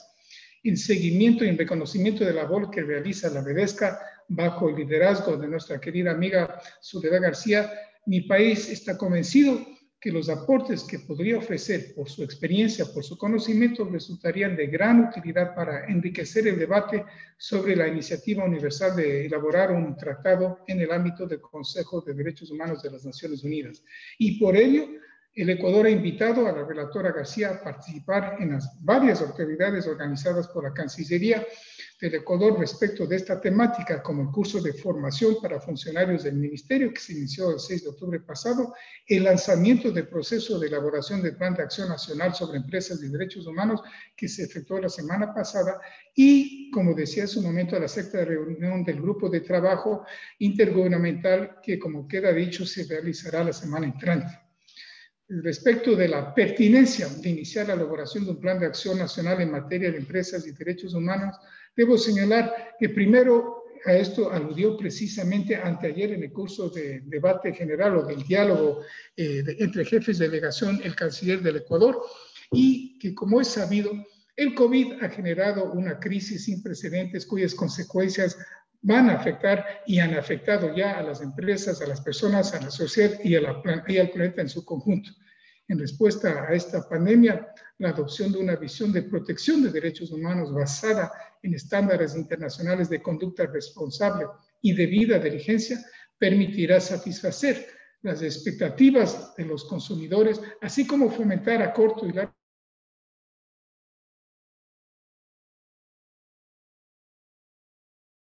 Esto supone de igual manera una oportunidad para que el Ecuador instrumente una recuperación socioeconómica orientada a no dejar a nadie atrás, que no solo incremente utilidades, sino que genere resiliencia y cohesión social al incorporar objetivos más amplios relacionados con el bienestar y con acciones en materia de derechos humanos y ambiente. Sin duda, la forma en que las empresas respondan a los múltiples retos que derivan del COVID-19 surtirá repercusiones duraderas en su productividad durante el periodo de recuperación. Y por ello, creo que es prioritario que los estados promuevan inversiones con estándares de calidad a fin de dinamizar la economía en un marco de libre mercado, seguridad jurídica, Estado de Derecho y lucha contra la corrupción. Muy brevemente, ¿cuáles son los aspectos generales del plan de acción nacional? Entre los principales puedo mencionar la promoción de inversiones que cumplan estándares de calidad, a tiempo que se garantice el acceso a la justicia de las personas afectadas por las actividades empresariales, la alineación muy importante a la Agenda 2030 de Desarrollo Sostenible, a sus 17 Objetivos de Desarrollo Sostenible, a fin de asegurar una necesaria complementariedad con esas metas, la aplicación de estándares, de varios estándares globales, como los principios vectores de Naciones Unidas sobre los derechos humanos y empresas, la declaración tripartita sobre empresas multinacionales y política social de la OIT y las líneas directrices sobre empresas multinacionales de la OCDE. Y finalmente, la inclusión en este plan de un enfoque regional, de una dimensión regional necesariamente, mediante la referencia a los estándares interamericanos propuestos precisamente por la Vedesca en su muy ilustrativo informe. Eh, creo que ya me excedí el tiempo, tengo toda una sección todavía, pero simplemente quería concluir coincidiendo con lo que han dicho los anteriores panelistas acerca del significado de este informe que Soledad nos decía que es apenas una primera aproximación, quizás un poquito más, porque es un documento muy elaborado y, bastante y de gran sustancia. Y tiene el mérito que, como decía también la comisionada Orejola, interamericanizado el tema, y eso me parece muy bien, y el verbo también más propio todavía. Y creo yo, para promover la mayor vigencia, primero obviamente de los DESCAS, pero de los derechos humanos en su conjunto, precisamente para consolidar este, esta aspiración de muchos años atrás de lograr una plena interdependencia e indivisibilidad de los derechos humanos en el camino hacia la realización de lo que hemos discutido mucho con Soledad y es la consolidación y el logro del derecho al desarrollo, tanto en su dimensión colectiva como su, en su dimensión individual. Pero me he excedido y luego les agradezco mucho por su atención. Muchísimas gracias, embajador. Eh, usted pone sobre la mesa un tema bastante importante que es el enfoque, lo que se denomina el enfoque policéntrico eh, que ha adquirido en la práctica el tema de empresas y derechos humanos, precisamente no solo por el liderazgo que tiene Ecuador en eh, la discusión, diálogos para la adopción de un tratado vinculante en el seno de Naciones Unidas, sino a través de su más reciente compromiso sobre la elaboración de un plan de acción nacional sobre el tema, ¿no? por la diversidad de herramientas eh, y mecanismos que este, que este ámbito nos ofrece. Precisamente eh, nuestro siguiente panelista nos va a poder dar una visión desde el ámbito de Naciones Unidas eh, sobre la importancia que este informe como insumo podría adquirir en los diálogos o como herramientas a nivel universal. En ese sentido, eh, me gustaría presentar al señor Jan Yarab, quien desde noviembre del año 2019 es representante de la Oficina Regional para América del Sur del Alto Comisionado de las Naciones Unidas para los Derechos Humanos. Previamente se desempeñó también como representante de la misma institución en la Oficina de México y en la Oficina Regional para Europa. Señor representante Jan Yarab, tiene usted la palabra. Ah, muy buenas tardes a todas y todos. ¿Se me escucha bien? Sí, se le escucha bien. En primer lugar, eh, quiero agradecer la invitación a participar en el evento del día de hoy y mis particulares agradecimientos a Soledad García Muñoz, eh, relatora especial sobre derechos económicos, sociales, culturales y ambientales de la Comisión Interamericana de Derechos Humanos, con quien estas últimas semanas he compartido en diferentes eventos como el realizado por el Ecuador en el lanzamiento del proceso de elaboración de su primer Plan Nacional sobre Empresas y Derechos Humanos. Aprovecho así también de saludar al embajador del Ecuador ante la OEA, Carlos Játiva, y felicitarle por este compromiso de su país. Igualmente, extiendo mi fraterno saludo a Antonia Urejola, vicepresidenta de la CIDH y relatora sobre los derechos de los pueblos indígenas, a Daniel Sánchez, viceministro de Derechos Humanos y Acceso a la Justicia del Perú, y a María Roquever, embajadora de Panamá ante, ante la OEA, así como a los representantes de sociedad civil que participarán más tarde en la segunda parte de este evento. Me complace estar presente hoy para dar cuenta de la estrecha y fructífera colaboración que la Oficina del Alto Comisionado tiene con eh, la Comisión Interamericana de Derechos Humanos y que el informe que nos convoca hoy no ha escatimado palabras en mencionar. De hecho, en junio de 2016, cuando la Organización de los Estados Americanos adoptó la resolución 2887 eh, que solicitó a la CIDH realizar el estudio que conocemos hoy, había de manifiesto el interés de reforzar también la colaboración existente entre ambos sistemas, el universal y el regional, también en materia de empresas y derechos humanos. Colombia acababa de publicar en diciembre de 2015 su primer plan de acción nacional sobre empresas y derechos humanos conforme a los principios rectores de Naciones Unidas que habían sido adoptados solo unos años antes, en 2011, por el Consejo de Derechos Humanos. Otros dos países, Estados Unidos y Chile, se encontraban trabajando en la elaboración de lo que fue su primer plan de acción. Muchos países de la región habían también manifestado gran interés en sumarse a estos esfuerzos a lo cual debemos señalar además el liderazgo del Ecuador en las ya mencionadas negociaciones para un tratado específico y vinculante en la materia. Es decir, además de Europa, la región de las Américas demostraba nuevamente un camino de avanzada, de vanguardia, esta vez en materia de empresas y derechos humanos. Este contexto favorable hizo también evidente la necesidad de acceso de manera fácil, sistematizada y actualizada al gran, acervo de experticia y labor jurisprudencial del sistema interamericano. De esta manera, un primer gran logro que me gustaría reconocer de este informe es que sitúa y narra muy bien la contribución particular del sistema regional de las Américas, los denominados criterios interamericanos.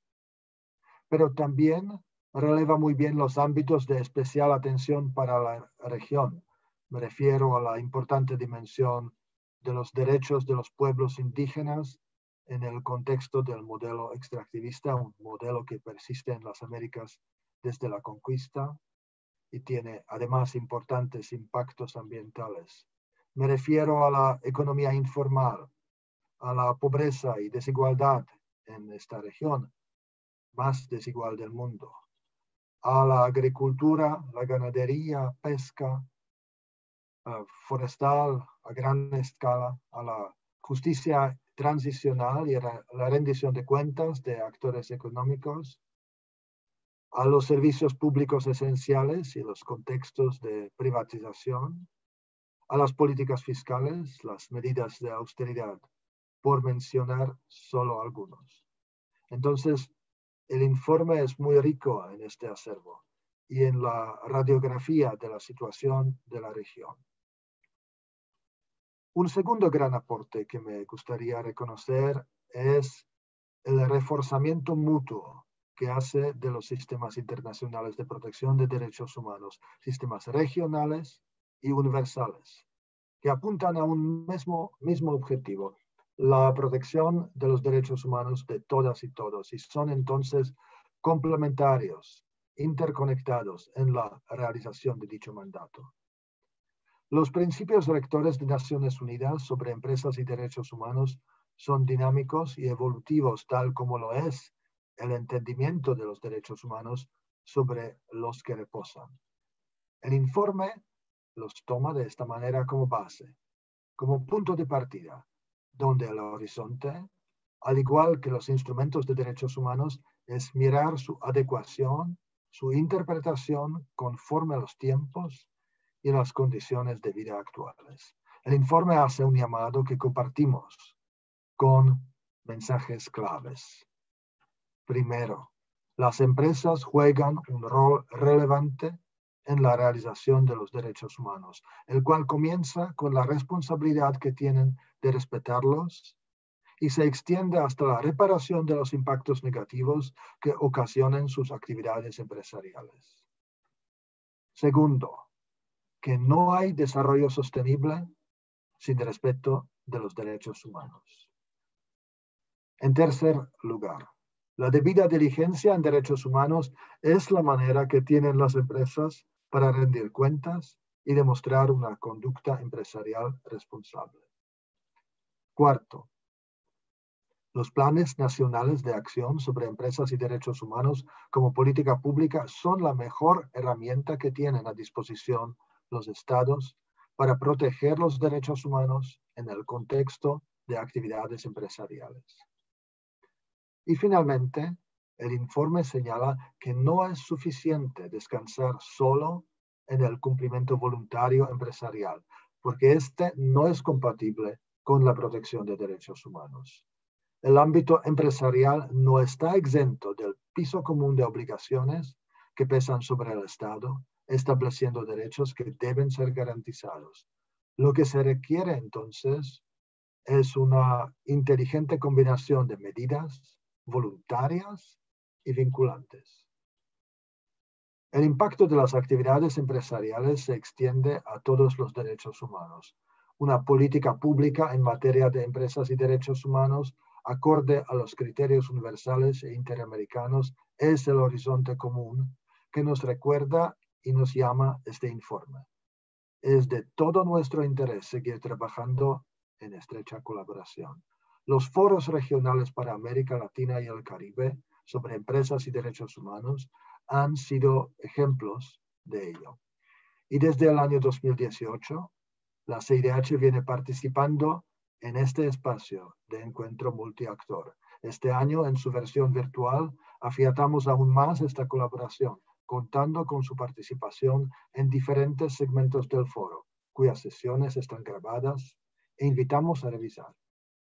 Y desde el año 2019, la CIDH también nos acompaña en el trabajo que realizamos mediante el proyecto sobre conducta empresarial responsable para América Latina y el Caribe, que se implementa conjuntamente por nuestra oficina, por la Organización Internacional del Trabajo y por la Organización para la Cooperación y Desarrollo Económico, y es financiado por la Unión Europea. Mayor protección de los derechos humanos y del planeta en cuestiones relacionadas a empresas nos llena de esperanzas sobre un cambio posible y real en la vida de las personas. Nuestro anhelo es que a Ecuador, Perú, Costa Rica, los más recientes países que elaboran un plan de acción nacional sobre empresas y derechos humanos, se sigan sumando muchos otros más de la región.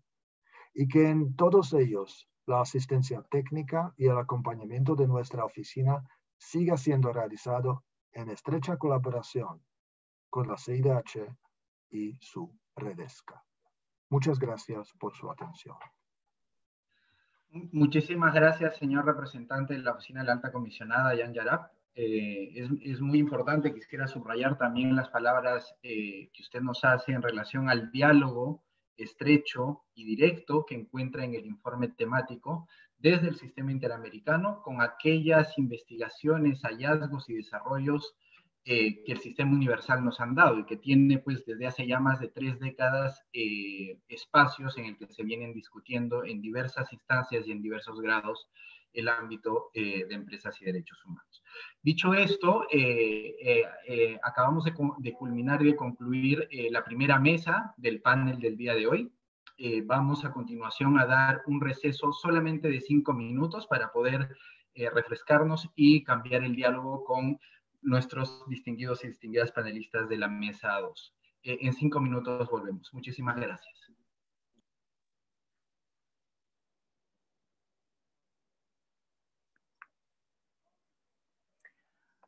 Eh, Luis y Soledad, yo me voy a salir ahora, ya que tengo que meterme en otra, en otro webinar, pero un abrazo grande. Claro, comisionada, muchísimas gracias por, por acompañarnos. Eh, no, felicitaciones a usted, un abrazo.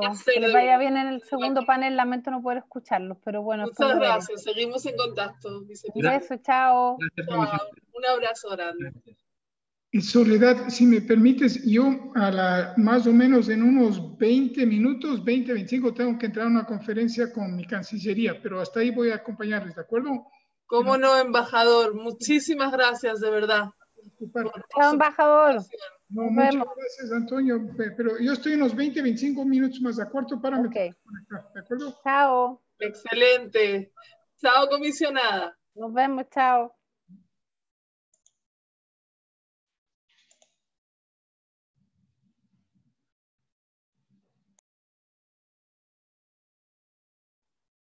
Creo que la, la, la embajadora Roquever también tenía, tenía que salir.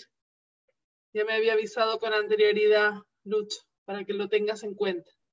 Perfecto, Sol, muchas gracias.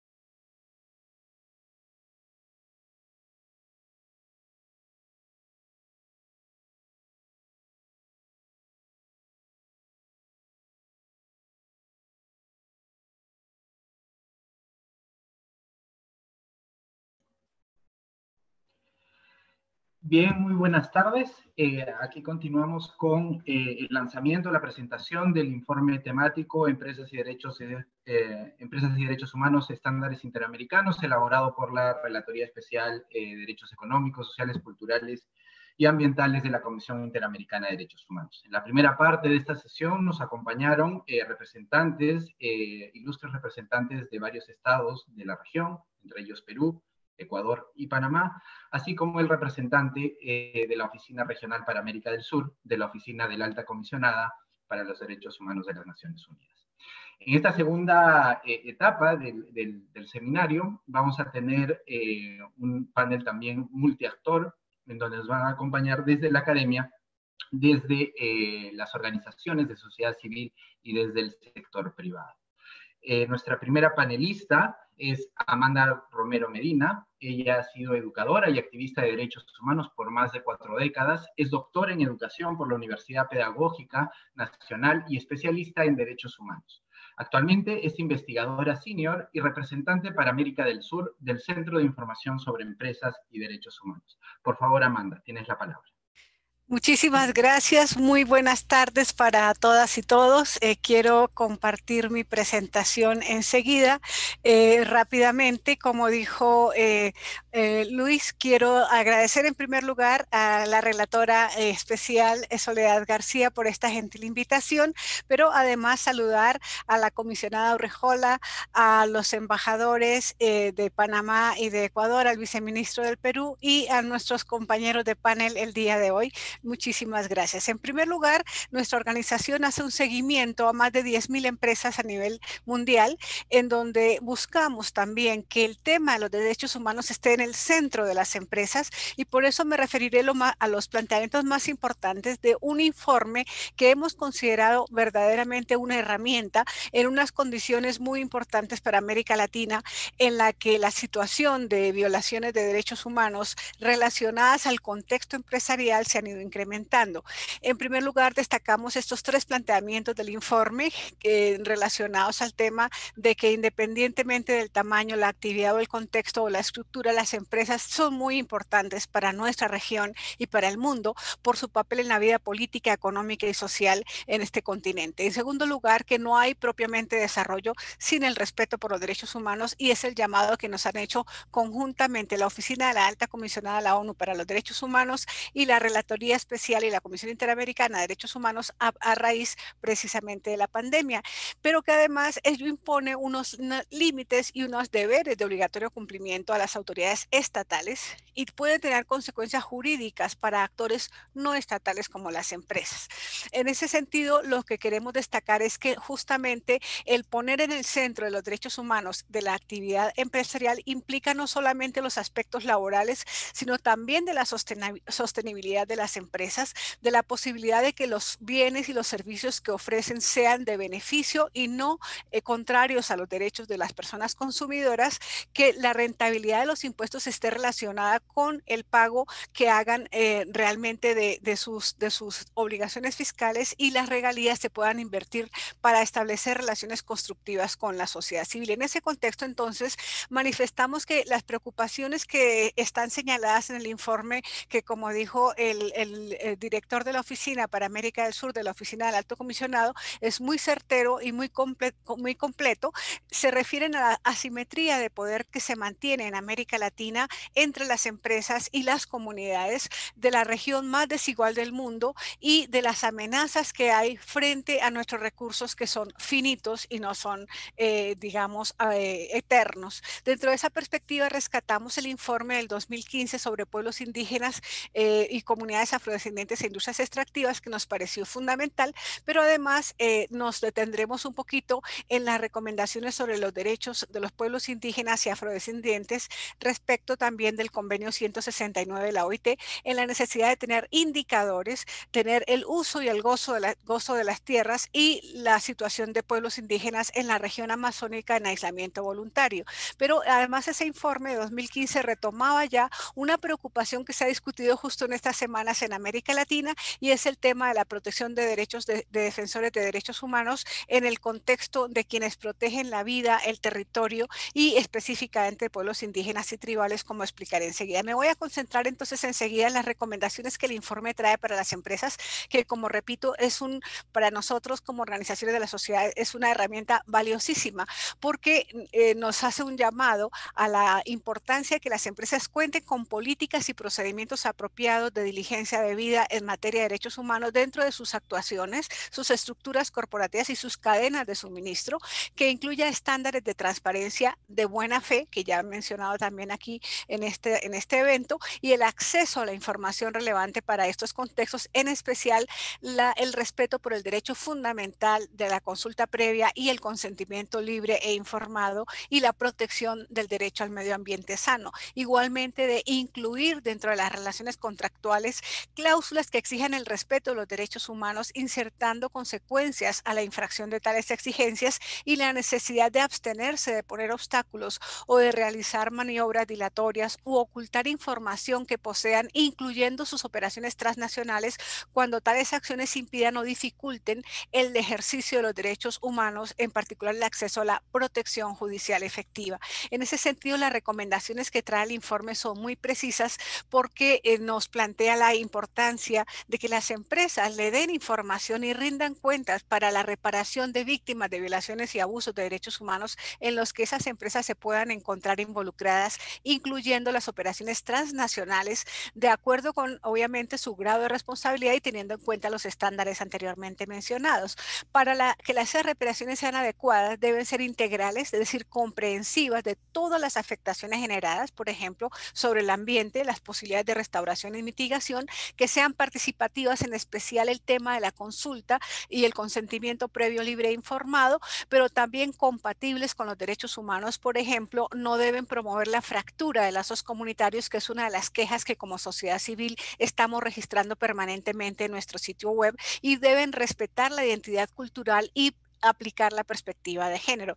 También el informe recomienda abstenerse, que las empresas se abstengan de presionar o ejercer influencia indebida sobre los estados para obtener beneficios que generen impactos negativos o riesgos para la realización de derechos humanos, como hemos visto en el pasado reciente con problemas relativos a la corrupción en muchas de las empresas que actúan en nuestra región y un llamado también a los inversores para que sus políticas sean alineadas al tema de los derechos humanos.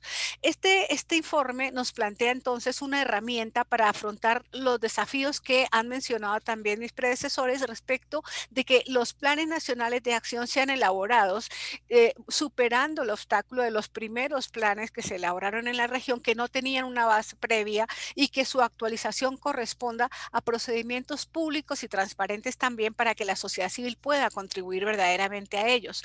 También se, se nota como desafío la falta de transparencia de la operación empresarial, sobre todo en el tema de la fiscalidad, que es uno de los problemas fundamentales, no solamente de empresas latinoamericanas o americanas, sino también de empresas transnacionales, porque se mantienen muy altos los niveles de alta conflictividad, tanto laboral como ambiental y social. Y además hay una falta de transparencia y dificultad de acceso a la información que, como lo sabemos, está siendo discutida en el nivel interamericano a través de un instrumento que no es del sistema Interamericano de Derechos Humanos, sino de la CEPAL, que es el acuerdo de Escazú, que es muy importante. ¿Por qué es importante? Porque siguen vigentes los principales temas de preocupación, como son los ataques a defensoras y defensores de los derechos humanos, que es uno de los puntos centrales de nuestra presentación, por las limitaciones o la negación al derecho a la participación, especialmente a los procesos de consulta y consentimiento previo, libre e informado, y sobre todo porque en la pandemia dejó en evidencia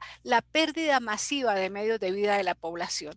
De esa manera encontramos que en nuestra base de datos sobre defensoras y defensores de derechos humanos relacionados con asuntos de crítica o cuestionamiento a las empresas, tenemos entre el 2015 y el 2019 un alto índice de casos para países como Honduras, Colombia y Brasil, seguidos por México, Guatemala y Perú, comparados con las Filipinas o con la India, que son países con mayor número de, de población, pero además con con incidentes también relacionados con empresas. En ese contexto, nos parece que el informe nos da una perspectiva real de desarrollarlo. El, Centro de Información sobre Empresas y Derechos Humanos está desarrollando en este momento eh, un, proceso de, divulgación y de capacitación con organizaciones de la sociedad civil en Colombia, invitando ocasionalmente también y próximamente vamos a invitar a otras personas de la región eh, para que participen de estos procesos que son muy fundamentales respecto de conocer el informe, de apropiarse del informe y de entender la dimensión de un órgano como la Comisión Interamericana de Derechos Humanos, que es un referente muy importante y central para nuestra actividad. Por otro lado, y ya para terminar, eh, nuestra organización ha sido eh, una de las, de las donatarias de los fondos de CERALC, del proyecto CERAL de, de, la Unión Europea, la OIT y la OCDE, y estaremos también implementando acciones en Brasil, en México y en Colombia en ese respecto. Entonces, muchísimas gracias, de verdad que es muy importante. Nuestro camino junto con la Redesca ha sido muy, muy valioso. Hemos aprendido un montón y además queremos que la gente conozca y que las empresas también conozcan estos, estas recomendaciones, mm, además de obviamente las recomendaciones a los estados que son los que componen el sistema interamericano de derechos humanos. Muchísimas gracias, Luis. Dejo por ahí. Amanda, muchísimas gracias por eh, tan importantes reflexiones. En realidad, digamos, una de las eh, primeras eh, ideas que se me vienen y que quisiera subrayar de tu presentación es subrayar nuevamente el tema de los defensores y defensoras de derechos humanos en el hemisferio americano. ¿no? El, el, el, informe temático precisamente adopta como uno de sus criterios a tener en cuenta de forma transversal en el ámbito de empresas y derechos humanos este derecho, el de defender derechos humanos.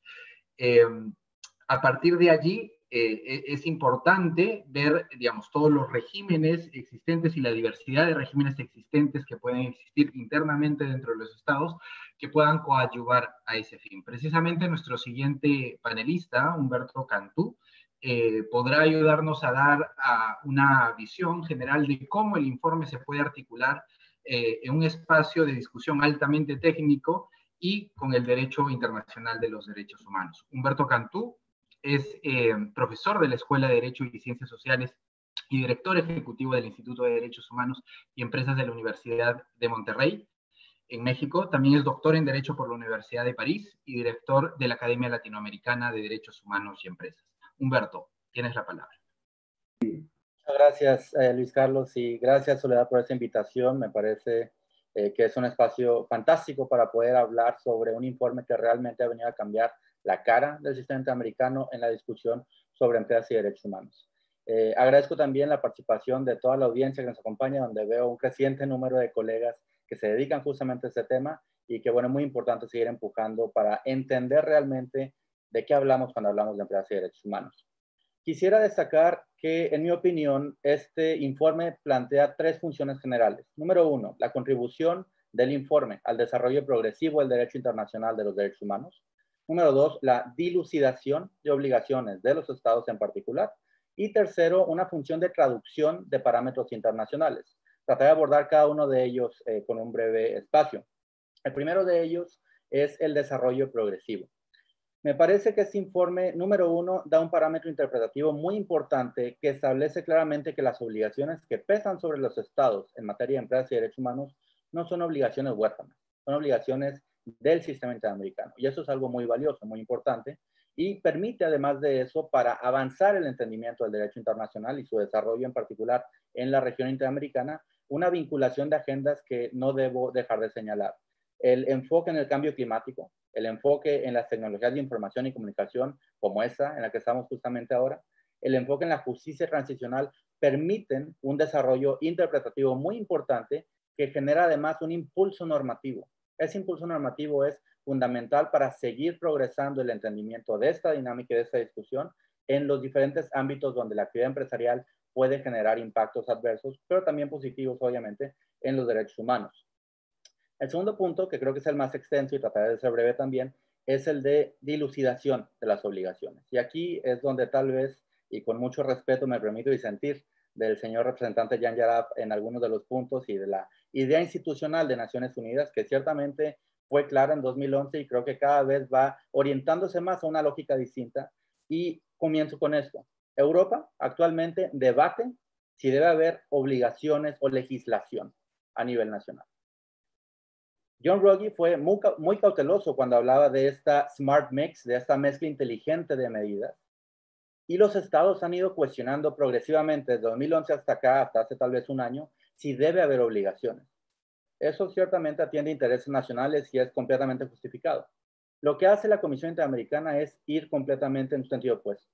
Aclara que las obligaciones a nivel legislativo no son opcionales, son una obligación vigente para los estados. Y creo que hay un valor fundamental en eso y en esa idea de la mezcla inteligente que cada vez se demuestra que fue poco inteligente para poder realmente proteger los derechos humanos. Y ese es el valor fundamental que se avanza a través de ese informe.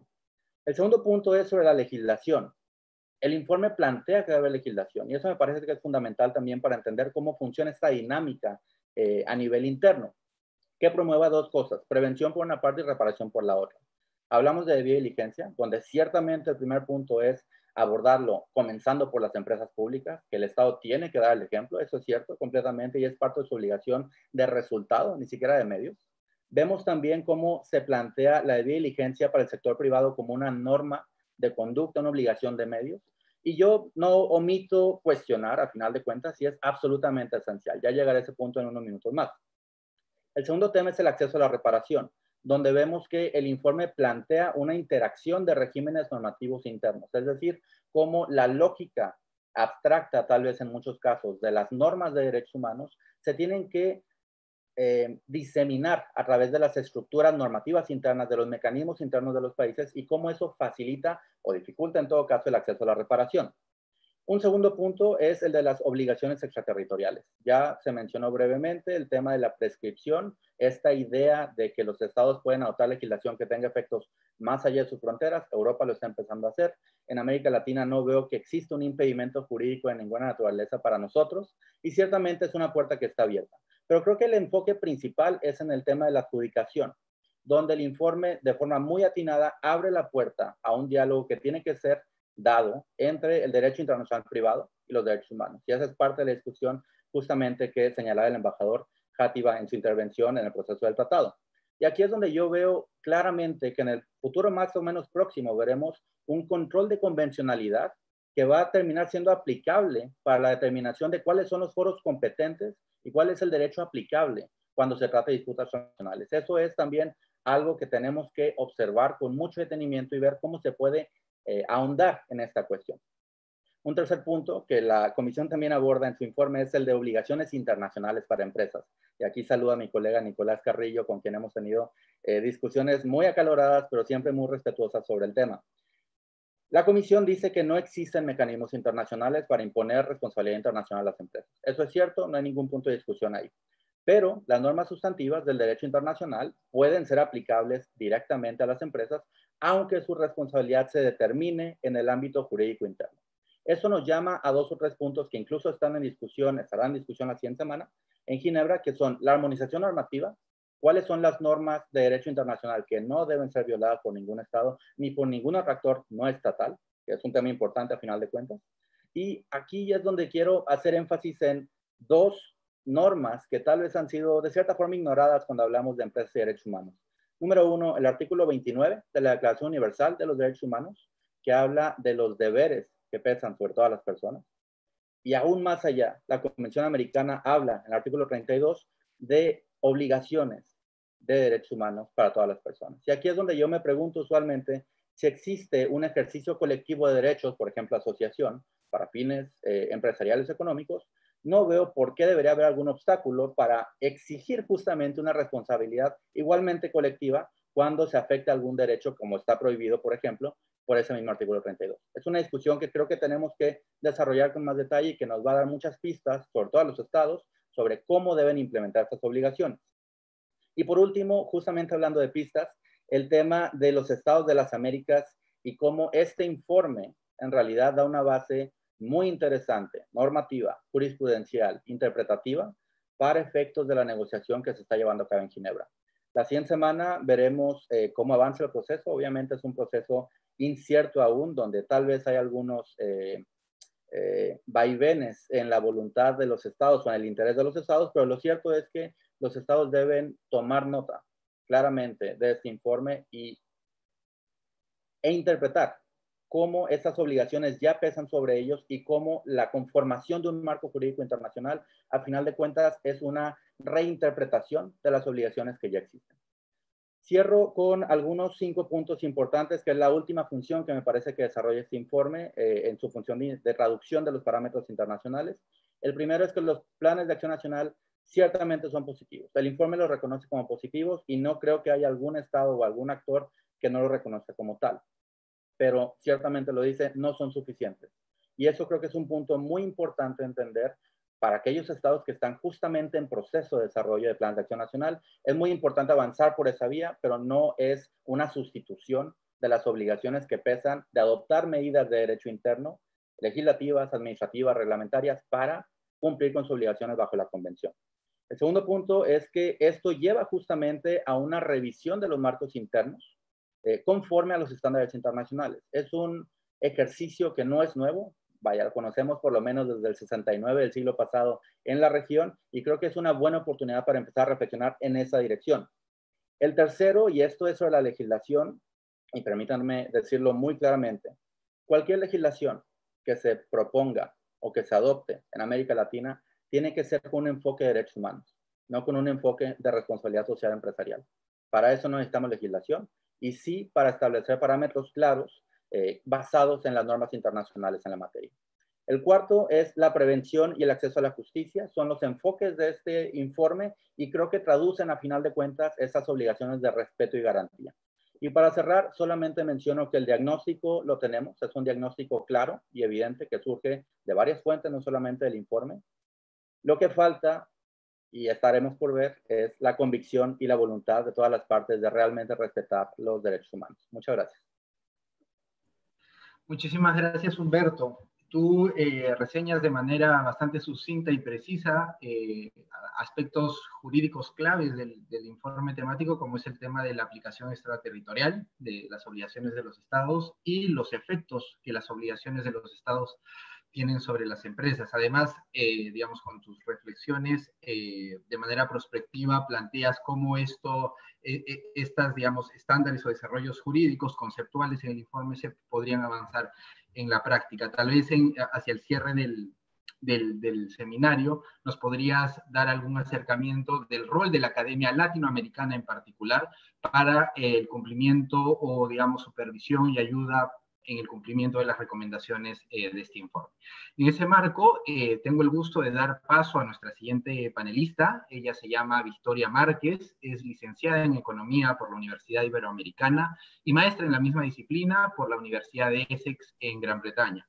Desde julio del 2020 funge como la primera Chief Accountability Officer del Mecanismo Independiente de Rendición de Cuentas del Banco Europeo de Reconstrucción y Desarrollo y previamente encabezó el Mecanismo Independiente de Consulta e Investigación del Banco Interamericano de Desarrollo.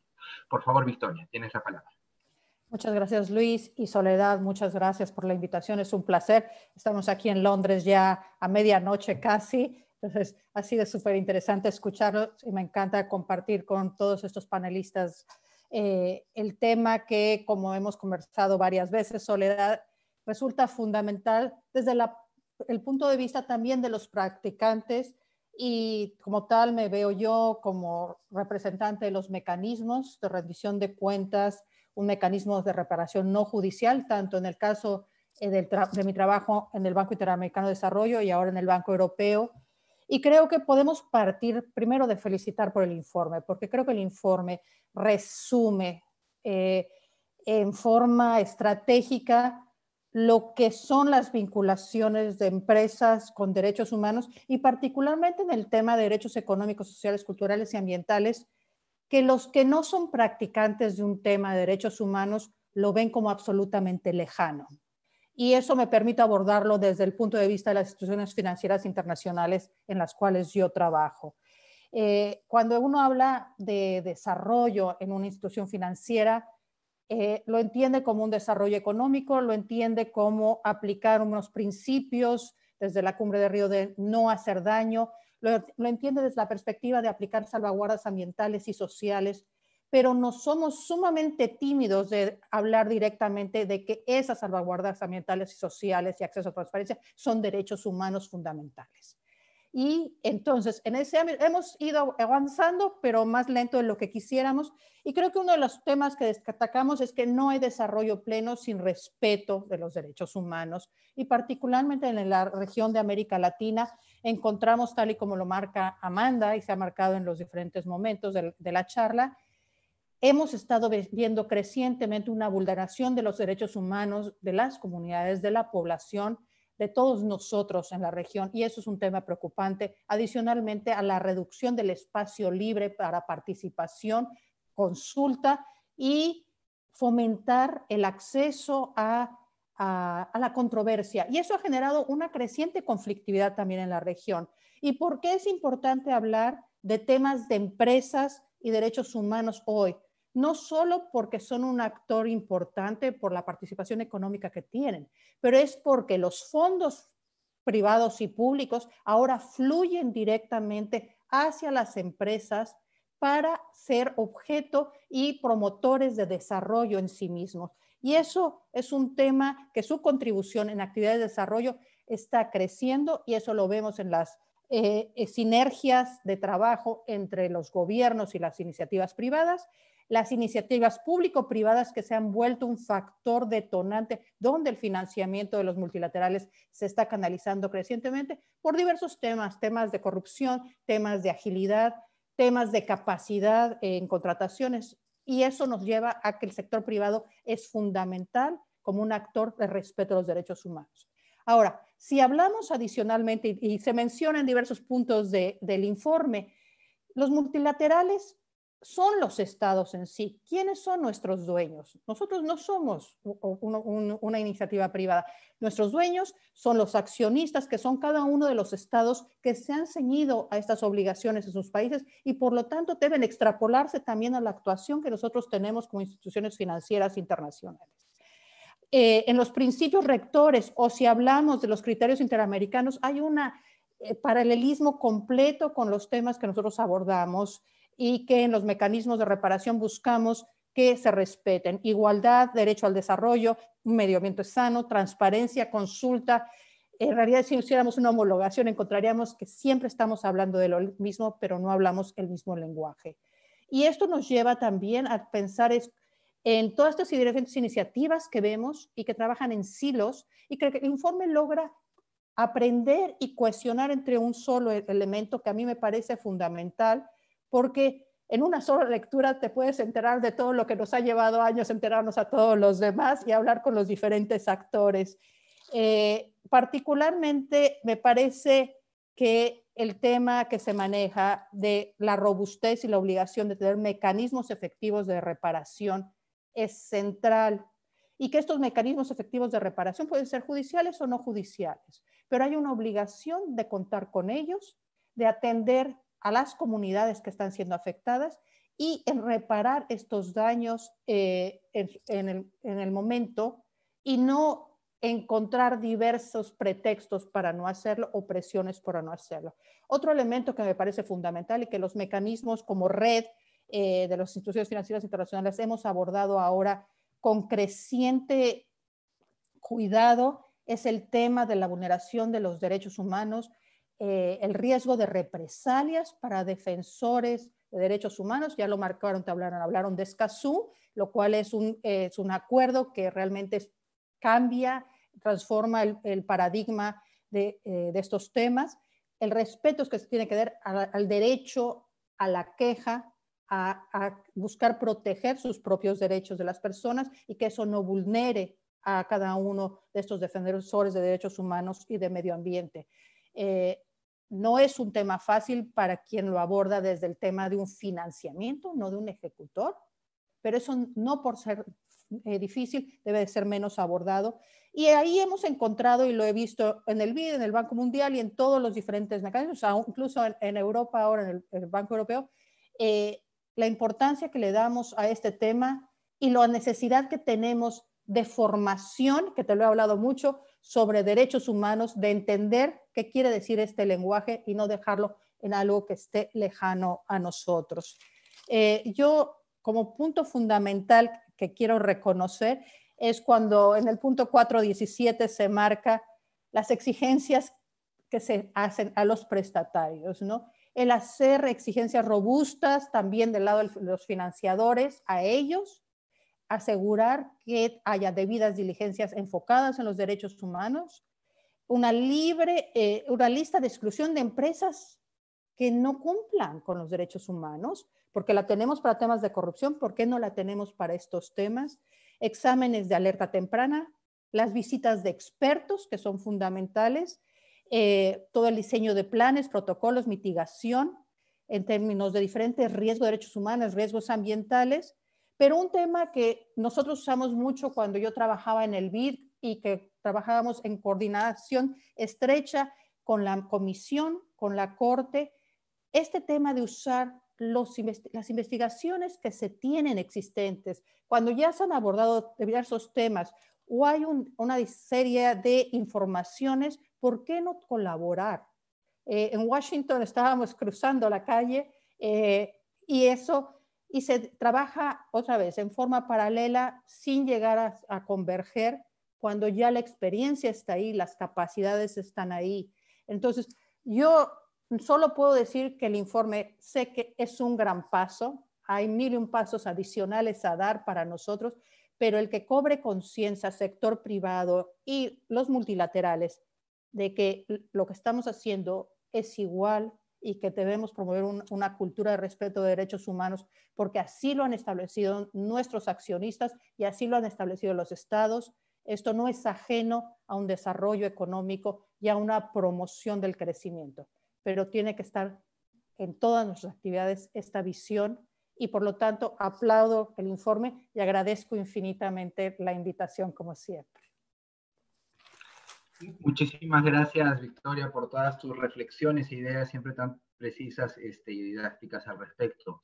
Eh, acá me gustaría subrayar que precisamente el informe temático es la primera vez en que la Comisión Interamericana, junto a su Relatoría Especial, eh, dan un primer alcance o se pronuncian por primera vez en relación al tema de eh, los órganos multilaterales de inversión eh, o, crédito, ¿no? Entonces, este es también un, paso importante dentro del sistema interamericano de derechos humanos al problematizar dos de las cuestiones que tú misma las mencionabas en tu presentación. Uno, los procesos de debida diligencia de estas instituciones multilaterales para ver cómo sus inversiones cumplen o son compatibles con los derechos humanos y de otra forma los sistemas de rendición de cuentas que a nivel interno tienen eh, las mismas. ¿no? Tal vez hacia el final de la, de la presentación del seminario nos podrías ayudar haciendo alguna reflexión en cómo estos mecanismos independientes pueden ser, eh, sus recomendaciones pueden ser más robustas para que los órganos ejecutivos de dichas instituciones pues eh, las cumplan.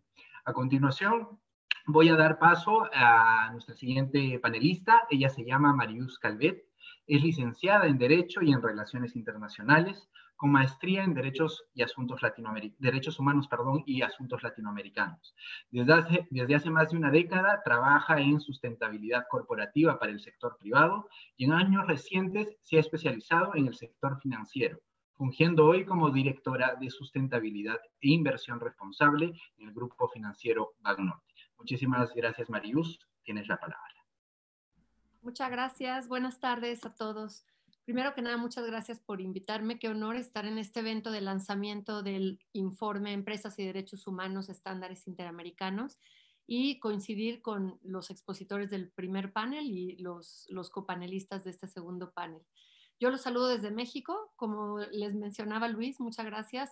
Eh, estoy encargada de sustentabilidad de inversión responsable en Grupo Financiero Banorte. Y bueno, antes de, pasar a platicarles un poco el rol desde el sector privado y el sector financiero, quisiera hacer algunas menciones acerca del reporte que me parecen muy interesantes. Hay mucho que rescatar en un informe largo, completo, pero primero que nada rescato la, idea y lo que se mencionó en un principio por Soledad, a quien felicito, el tema de que esto debe de ser una herramienta de gestión, un documento vivo que, que se utilice que, tenga toda la información que nos ayude al sector privado a darnos eh, una idea de hacia dónde ir, cómo ir y cómo trabajar con el Estado como garante de los derechos humanos.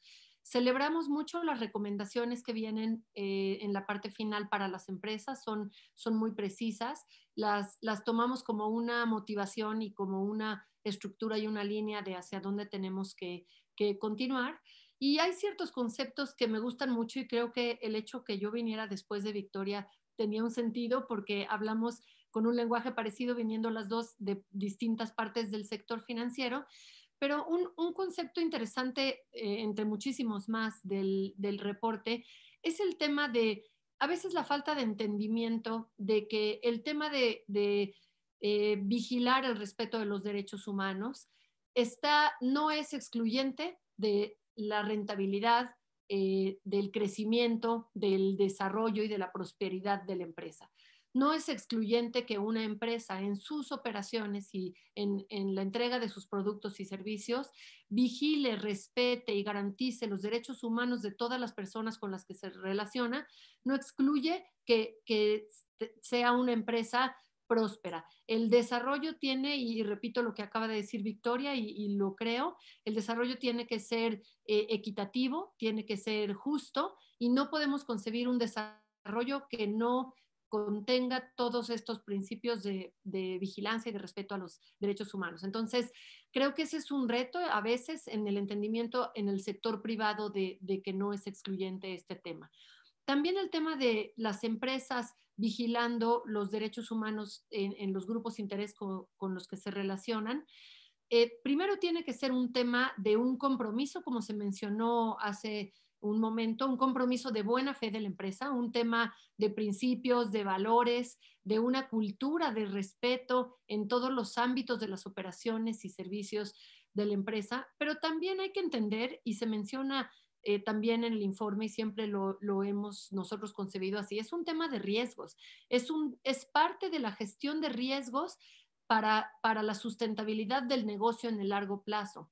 Una empresa que no cuida y no vigila el respeto a los derechos humanos, está sometida a que sucedan temas como eh, daños, reclamos, eh, temas, por supuesto, de reputación, temas de pérdida de oportunidades de negocio, se menciona en el informe, y también una empresa es responsable de las externalidades de su cadena de suministro o, por ejemplo, nosotros en el sector financiero de los proyectos que financiamos. Y eso lo abordaré un poquito más adelante y, Victoria también lo mencionaba, ¿no? Pero sí es un tema de manejo de riesgos que, yo creo que, bueno, debe de partir de un compromiso y de principios y de, de, una cultura y valores de la empresa, pero, pero se debe de entender que sin esta parte de manejo de, riesgos, la empresa no será sostenible en el largo plazo, ¿no? Entonces, eh, hablando desde el sector privado y para platicarles un poco, Grupo Financiero Banorte es un grupo que tiene no solamente un banco, es el grupo financiero el segundo más grande de México, tiene un banco, pero tiene la Afore, que es un fondo de pensiones el más grande de México, con la cartera de inversión más grande de México, tiene una operadora de fondos, una casa de bolsa, una compañía de seguros, una arrendadora, en fin, es un grupo que tiene diferentes servicios, diferentes grupos de interés y el reto y la oportunidad de vigilar en todos nuestros procesos el respeto a los derechos humanos en todas las partes de todos estos distintos negocios, de 29 mil colaboradores en todas estas subsidiarias, es algo que, nos entusiasma, pero que también tiene sus retos y que nunca vamos a dejar de seguir trabajando y, seguir construyendo ante esto. Entonces, eh, nosotros eh, hemos desarrollado eh, como creo que, se tiene que hacer, una estructura organizacional. Hemos hecho políticas de la compañía, hemos hecho procesos, pero si bien toda esta institucionalización de la que ahorita platicaré es importante, realmente una política o un comité de derechos humanos, de diversidad o de, de, inclusión, un comité de sustentabilidad como el que tenemos, por ejemplo, en Banorte, no garantiza per se la cultura de respeto y la vigilancia de, los derechos humanos dentro de la empresa. Necesita haber, y lo mencionan en el informe y me gusta mucho, un rol proactivo y ser un agente positivo la empresa, activo de transformación y de, compromiso de en cada uno de los momentos de relacionamiento con, con las personas y comunidades, exista este cumplimiento de las políticas establecidas. Entonces, va más allá de la estructura e institucionalización que una empresa podemos tener en temas de derechos humanos, va a un rol mucho más proactivo. Nosotros como grupo financiero, nuestros principales grupos de interés, por supuesto, son nuestros colaboradores. En este caso, para nosotros son 29 mil pero tenemos clientes de banca comercial, personas físicas, clientes corporativos, tenemos la cartera de financiamiento de banco privado más grande a gobiernos, entonces de los clientes más grandes e importantes de este banco son gobiernos, municipios, e, etcétera. Y tenemos, por supuesto, el relacionamiento con proveedores y el resto de público en general y comunidades, pero toda también el tema de los proveedores. Nosotros hemos institucionalizado en una política de derechos humanos establecida tomando en cuenta pues los marcos normativos más importantes mundiales de derechos humanos, la Declaración Universal de Derechos Humanos, los principios rectores de derechos humanos y empresas, la Convención Americana, eh, en fin, hemos sido firmantes eh, del Pacto Mundial de las Naciones Unidas, los 10 famosos puntos del Pacto Mundial, pero también de marcos más robustos y con un poco más de de exigencia, como son los principios de inversión responsable para la cartera de inversión o el portafolio de inversión que tenemos en la FORE y en, en los fondos. Y los principios de Ecuador, por supuesto, pues nos permiten hacer la categorización del impacto de, de, los proyectos y todos estos procesos. Entonces, tomamos en cuenta todos estos marcos a que nos hemos sumado, toda la, la, principal normatividad existente y armamos una robusta política de derechos humanos. Tenemos un comité de sustentabilidad y un subgrupo de trabajo de derechos humanos y capital humano que deriva de este comité. Entonces, bueno, más allá de este marco institucional, repito, eh, eh, tenemos que ser proactivos.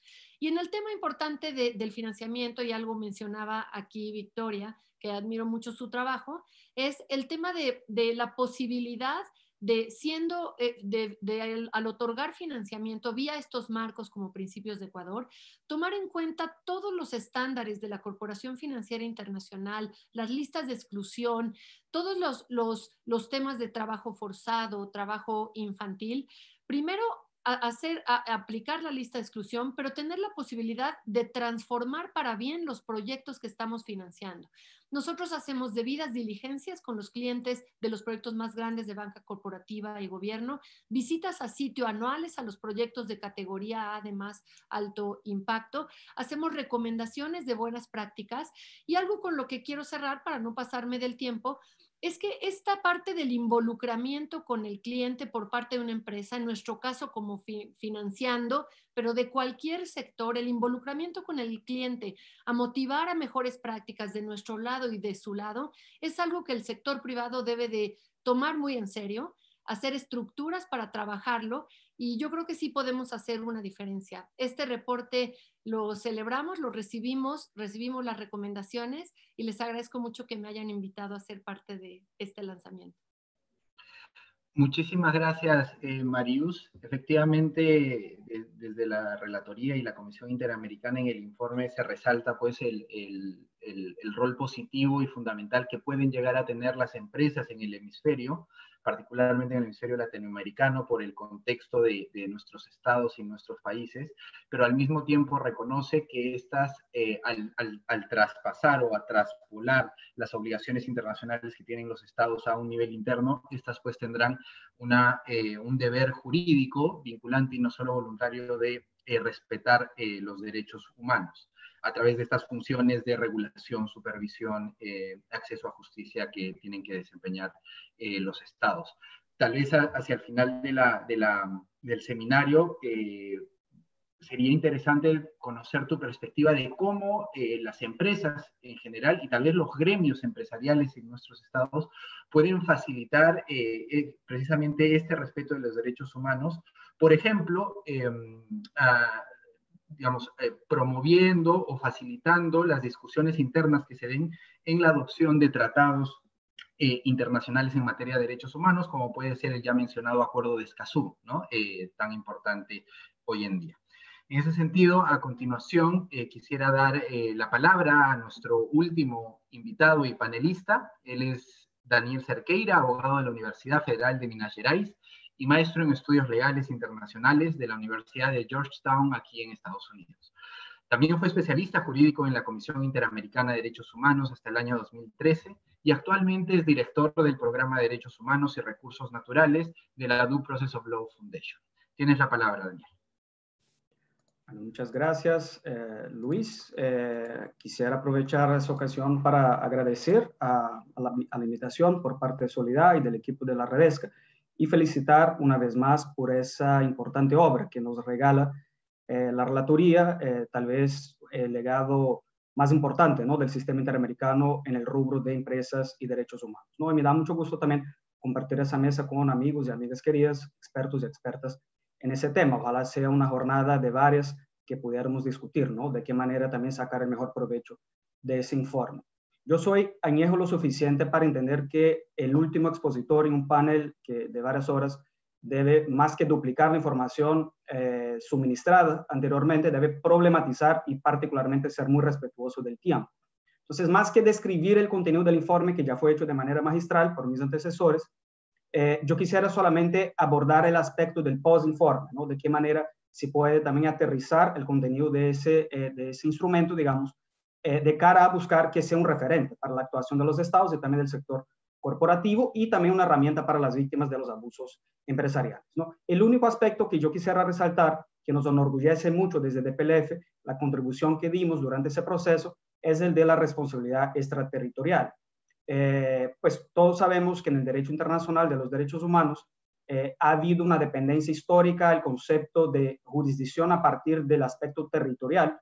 Eh, en algún momento los organismos internacionales dan un salto epistemológico, yo diría así, hacia el control efectivo como referente para la lógica del control sobre la persona víctima de violaciones de derechos humanos. Y más recientemente, algunos autores describen como el control sobre la conducta que viola derechos humanos. ¿no? Eso está plasmado, por ejemplo, en la Recomendación General 36 del Comité de Derechos Humanos de la ONU y en la Opinión Consultiva 23. Yo creo que ese informe eh, pues, asume como suyo el criterio más avanzado en derecho internacional en esa materia, que es precisamente el último criterio, aunque no lo califica con ese nombre, ¿no? Control sobre los derechos humanos violados como tal. Y hace, al igual que la opinión eh, consultiva 23 de la Corte, un análisis más bien de causalidad entre la conducta estatal, en el caso país de origen, y cómo eso favorece eh, la violación de derechos humanos. Eh, habiendo ya discutido, digamos, la importancia del contenido de ese informe, yo quisiera recoger más bien de qué manera podemos dar un paso adicional, un paso hacia el futuro. ¿no? empiezo hablando un poco de qué hacer con relación a ese informe. Eh, claramente es un informe que recoge lo que hay de más avanzado en distintos temas, eh, sin embargo tiene claramente un formato de estándares generales que muchas veces no son suficientes para que tenga una operatividad al momento de que, por ejemplo, un agente estatal tenga que tomar una, una decisión frente a una controversia, en el caso jueces y juezas, o el diseño de marco normativo o políticas públicas. Eh, mi organización se enfrenta mucho, con mucha frecuencia a ese tipo de situación. Por ejemplo, el sistema interamericano es de lejos el que más tiene pronunciamientos y los más avanzados en materia de consulta previa. Sin embargo, no tiene nada tan específico a punto de que pueda decir al Estado determinado que la consulta previa, por más autoejecutable que sea, no debe ser implementada a través de una ley de alcance general. Ahorita hay una agenda legislativa muy fuerte en ese sentido. Por cierto, la Suprema Corte de Justicia de México hace unos meses ordenó al Congreso legislar en la materia, ¿no? Pero ¿qué pasa cuando las propias organizaciones indígenas no lo quieren? Bueno, en ese rubro en particular, el sistema interamericano tiene poco a contribuir, aunque hay criterios generales que dicen claramente que es un derecho autoejecutable, ¿no? Es distinto cuando la Comisión lo dice a México, no es a través de una ley porque las organizaciones indígenas no lo quieren, a decir sencillamente que es un derecho autoejecutable. Y en ese informe sobre empresas y derechos humanos hay muchos estándares generales que no tienen el grado tal vez de concreción, de operatividad necesarios y eso va a requerir un trabajo de sociedad civil, pero también de la propia Redesca para que eh, de alguna manera también eh, eh, alumbre ¿no? las controversias que van a, desatar en el seguimiento a su implementación, digamos así. La agenda en materia de derechos derecho a medio ambiente sano y cambio climático nos parece fundamental por una razón muy sencilla.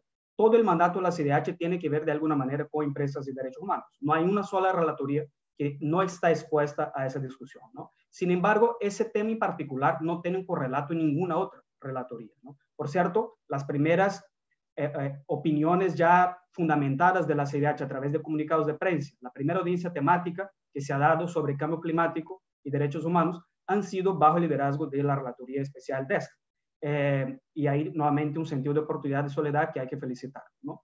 Nos parece que es necesario que el aspecto del informe relacionado a esos temas tengan continuidad a través de otros pronunciamientos y ojalá condiciones para un informe temático más específico. Nos parece muy atinada la decisión de, las, de, de, la relatoría de dar un punto inicial de partida a través del acuerdo de Escazú para no duplicar otros esfuerzos en sede nacional, pero los retrocesos legislativos y políticos que hemos visto en las últimas semanas, particularmente en Perú, en donde la Comisión de Relaciones Exteriores en el Congreso archivó la discusión sobre el acuerdo de Escazú, es una prueba adicional de que es necesario hacer también una agenda en el sentido más de asesoría técnica. ¿no? Muchas de las discusiones de los parlamentarios peruanos se basaron en falsedades, hay que, hay que usar la palabra que corresponde. ¿no? Entonces, la asesoría técnica tal vez de las redes que sea importante para aclarar ¿no? de que las discusiones parlamentarias, eh, al margen del contenido político, se basen eh, en una definición técnica objetiva. ¿no? Hay un componente en materias de reparación, por ejemplo, eh, que nos parece fundamental, que la redes que también utilice ese informe para, eh, eh, de alguna forma, ser un referente para decisiones judiciales. Un ejemplo muy concreto de este año, el Poder Judicial del Estado de Minas Gerais, de donde soy yo, en Brasil, permitió que Vale utilizar el pago de multa por el crimen ambiental cometido en Brumadinho en, en enero de 2019, peor tragedia ambiental en costos humanos de todos los tiempos, 350 personas fallecidas, que el pago de la multa fuera utilizada por el erario público general del Estado de Minas Gerais, que está quebrado no tiene el presupuesto necesario para proveer ni siquiera servicios de salud, y eso claramente, eh, según nuestro criterio desde DPLF, vulnera una garantía de no repetición. Vale tener en ese momento incentivos para continuar cometiendo ese tipo de, abusos y utilizar el pago de multas para tener algún tipo de aceptación, no solo de las fuerzas políticas en el Estado de Minas Gerais, sino de parte del funcionalismo público del Estado, que es bastante, eh, digamos, eh, numeroso, ¿no? Entonces, ese tipo de monitoreo nos parece también fundamental. Hay una serie de otras agendas ambientales que no quisiera extenderme tanto en eso, por ejemplo, derechos bioculturales, temas de desplazamiento ambiental, en donde el Comité de Derechos Humanos en la ONU ha, adoptado algunas decisiones importantes en el marco de incluso de casos contenciosos, y parámetros interpretativos en materia de principios eh, de prevención y eh, precautorio también, ¿no? Ese informe incorpora por primera vez en pronunciamiento de la CDH esa palabra, principio precautorio, hasta 2017, la primera, eh, digamos, el primer órgano del sistema interamericano que lo hizo fue la Corte Interamericana, pero nos parece igual que la Redesca debería utilizar ese informe y dar seguimiento a de qué manera los jueces y jueces del continente están aplicando mal o bien el principio precautorio ante controversias que involucran también intereses económicos. ¿no? Eh, ni hablar del marco legal que eh, obstaculiza la aplicación de ese principio, como es el caso de Brasil, que tiene la famosa eh, ley de eh, suspensión de seguridad, que es la suspensión de medidas cautelares, cuando eso pueda generar impacto al erario público, al interés público de manera general. Nos parece que flagrantemente eso viola el principio precautorio. Y por último, las salvaguardias ambientales aplicables de manera autorregulatoria por empresas, sobre todo cuya actividad puede implicar un daño ambiental, un gran daño, ambiental, como el caso, por ejemplo, que acabo de mencionar, de Vale y Brumadinho. ¿no? saliendo de qué hacer, yo me detuve mucho en el tema de, derecho ambiental. Eh, hay una vocación del sistema interamericano de superar la tensión típica entre eh, un, paradigma ecocéntrico más orientado a una, visión eh, ecológica del derecho hacia un paradigma en donde los pueblos indígenas son el punto también de referencia. La sentencia de caso La Cajoná es muy interesante en el sentido de analizar de qué manera se viola el derecho al agua, el medio ambiente sano, la alimentación adecuada, desde la cosmovisión indígena. Nos parece que la Redesca y la relatoría obviamente de pueblos indígenas deberían dar continuidad a esa vocación interamericana de más bien mirar el derecho ambiental desde una óptica indigenista, yo pondría así. Y por último, ¿cómo hacer ese trabajo? Necesariamente aglutinar eh, la labor de otras relatorías temáticas que no cuentan tal vez con la experticia de la Redesca. He mencionado el caso acá, por ejemplo, del desplazamiento ambiental. Sería interesante ver de qué manera la Redesca puede ser también eh, una suerte de, de vector técnico para apoyar en el trabajo general que se hace. ¿no? Y por último, porque ya me agoté el tiempo, eh, que el monitoreo que hace la Redesca y la CDH como un todo tome en consideración también la cuestión de las obligaciones de los países de origen. Para cerrar, el Grupo Interdisciplinario de Expertos Independientes de Nicaragua incorporó recomendaciones para países distintos a Nicaragua, a gobiernos, al momento de votar frente a la banca multilateral, por ejemplo, para utilizar las obligaciones de cooperación y prevención para evitar que esa plata precisamente fuera utilizada para una caja chica de represión. Me sorprendió un poco que en la visita in loco a Venezuela, la CIDH no incorporó una mirada similar al momento de pronunciarse sobre un Estado que no tiene ningún incentivo de seguir o cumplir las recomendaciones de la CIDH en ese tipo de pronunciamiento. Esperaría que el informe final se haga mención también a la obligación de otros países distintos a Venezuela de cooperar y buscar también, de alguna manera, prevenir que su relación con Venezuela permite ese tipo de violación y donde actúan sobre todo empresas con origen en esos países. Me quedo por acá y muchísimas gracias. Daniel, muchísimas gracias y también por la tolerancia y paciencia de ser eh, el último de nuestros panelistas en tu presentación, también siempre muy preciso y concreto con el mensaje que desde la eh, organización que representas pues eh, desean dar. Acá quisiera subrayar la importancia quizás de, del acompañamiento que ustedes dan a otras organizaciones de sociedad civil en el continente.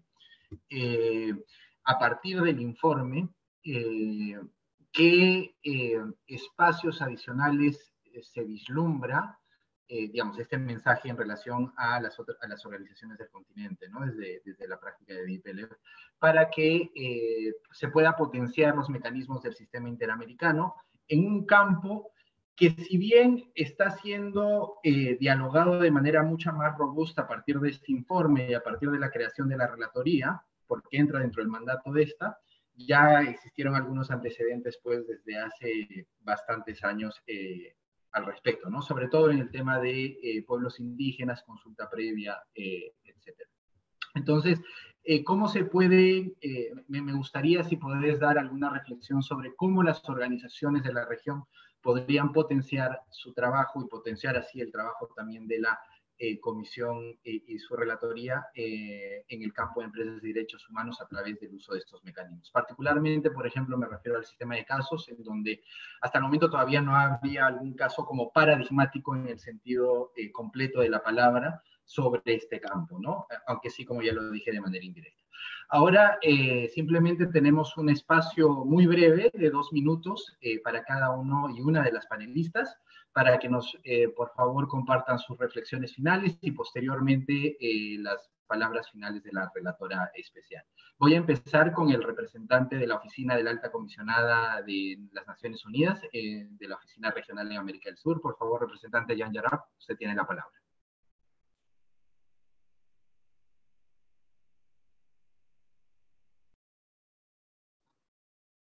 Perdón, ¿usted me puede reiterar la pregunta? Sí, eh, hacía una reflexión, simplemente eh, daba la indicación de que cada uno de los panelistas tienen dos minutos finales para sus reflexiones a partir de este diálogo y quizás eh, para usted cómo se podría fortalecer los diálogos y los avances que ya tiene el sistema universal, particularmente a, través de los principios rectores y a través de los pronunciamientos que los órganos principales de tratados de derechos humanos, como el Comité de Derechos Humanos, como el Comité eh, de derechos económicos, sociales, culturales, comités de los derechos del niño, etcétera, han dado en este campo, ¿no? Cómo, cómo fortalecer que también el sistema universal vea y focalice eh, los pronunciamientos que a nivel regional el sistema interamericano está dando en la materia para que de esta manera convergen y se fortalezcan mutuamente.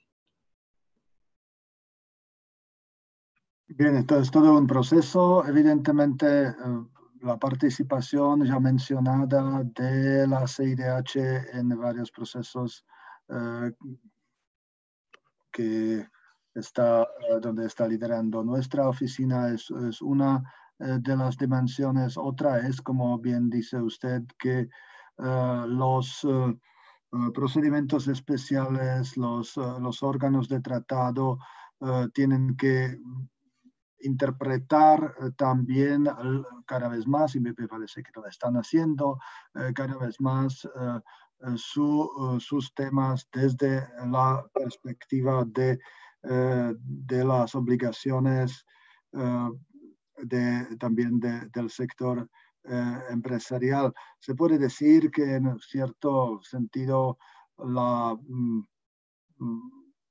La responsabilidad de, poder económico de las empresas es eh, ha sido por mucho tiempo el elefante en la sala ¿no? de, derechos humanos. Se puede ver esto en, eh, en las Américas desde, desde el inicio.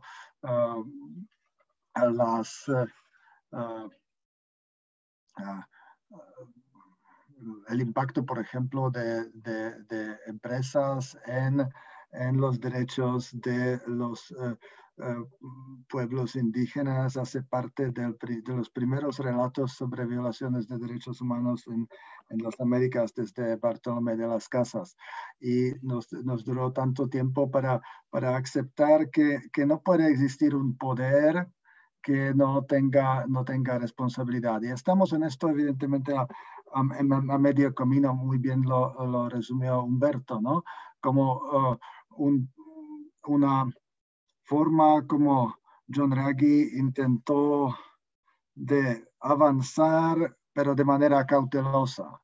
Ah, a mí, si, si, ustedes me preguntan dónde vamos a estar en, en 10, 15 años, espero que vamos a estar en, un, eh, en una ah, situación donde estas obligaciones serán muchísimo más eh, vinculantes, donde se, se va a ver claramente que los uh, uh, duty bearers uh, son, son, también, son todos quienes tienen, quienes tienen un poder, sea político, sea económico, y el poder económico de las empresas eh, hoy es, es, evidente. La, la cooperación con, con el sistema interamericano eh, en esto me parece eh, crucial, como dije en mi, en mi eh, presentación, y este informe eh, puede marcar un antes y un después, exactamente por ser tan mm, um, comprensivo, es, es, es, verdaderamente un informe que nos, que nos da una radiografía excelente de la situación en esta región y debe de servir también como inspiración para las instancias del sistema universal. muchísimas gracias. Si, logré decirlo eh, en, en, dos, dos, tres minutos, evidentemente hacer esta, esta, eh, mm, este, esta, visión del futuro eh, es todo un desafío. Muchísimas gracias, representante. En ese sentido, doy la palabra ahora a Amanda Romero. Quizás, Amanda, tú desde la sociedad civil nos podrías, además de tus reflexiones finales, eh, indicar un poco la importancia de la labor de los defensores y defensoras de derechos humanos en el contexto de esta defensa, eh, a, través, digamos, en el contexto, perdón, de las actividades eh, empresariales. ¿no? Dos minutos, por favor.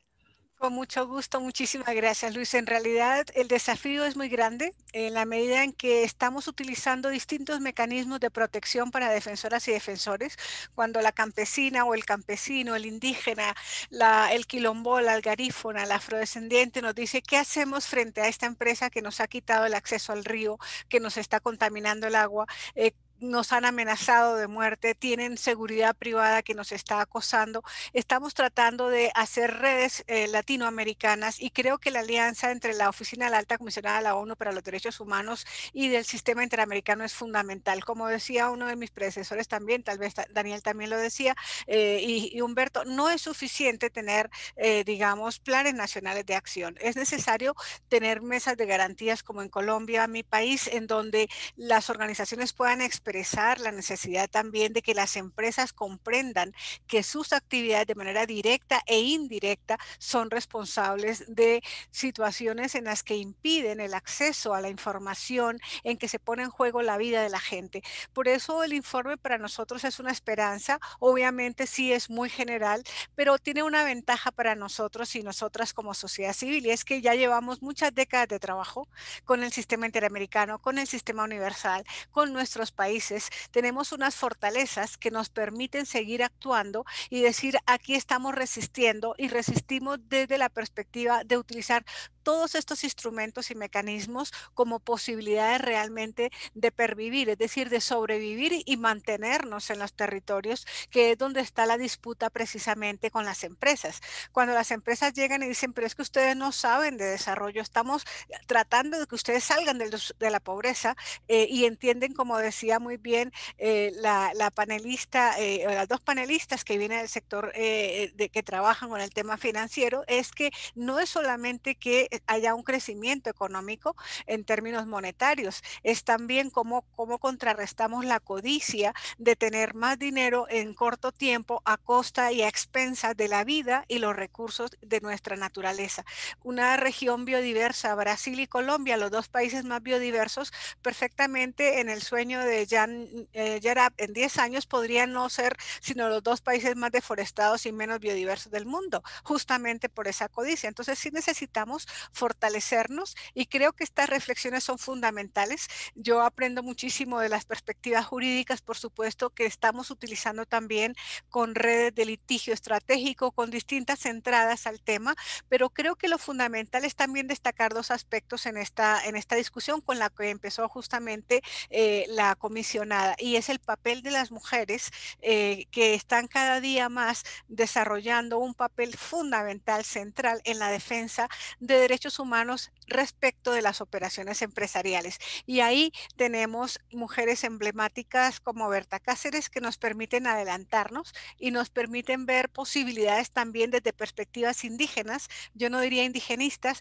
pero sí de los territorios ancestrales y los saberes, los saberes que a veces chocan con ese conocimiento científico y basado en evidencia del que a veces nos hablan las empresas, pero que es una evidencia y un conocimiento científico occidental impuesto sobre los conocimientos y los saberes tradicionales que lograron preservar por siglos la naturaleza en América Latina. Yo dejo por ahí. Muchísimas gracias. Muchísimas gracias, Amanda. Ahora cedo la palabra también a Roberto, ah, perdón, a Humberto Cantú para sus reflexiones eh, finales y, tal vez recordarle este esta importante reflexión sobre el rol de la Academia Latinoamericana en particular, en un contexto donde la Academia en realidad ha empezado a hablar, me refiero a la Academia sobre todo del norte de Europa o de Canadá y Estados Unidos muchísimo antes que aquí. Muchísimas gracias, Humberto.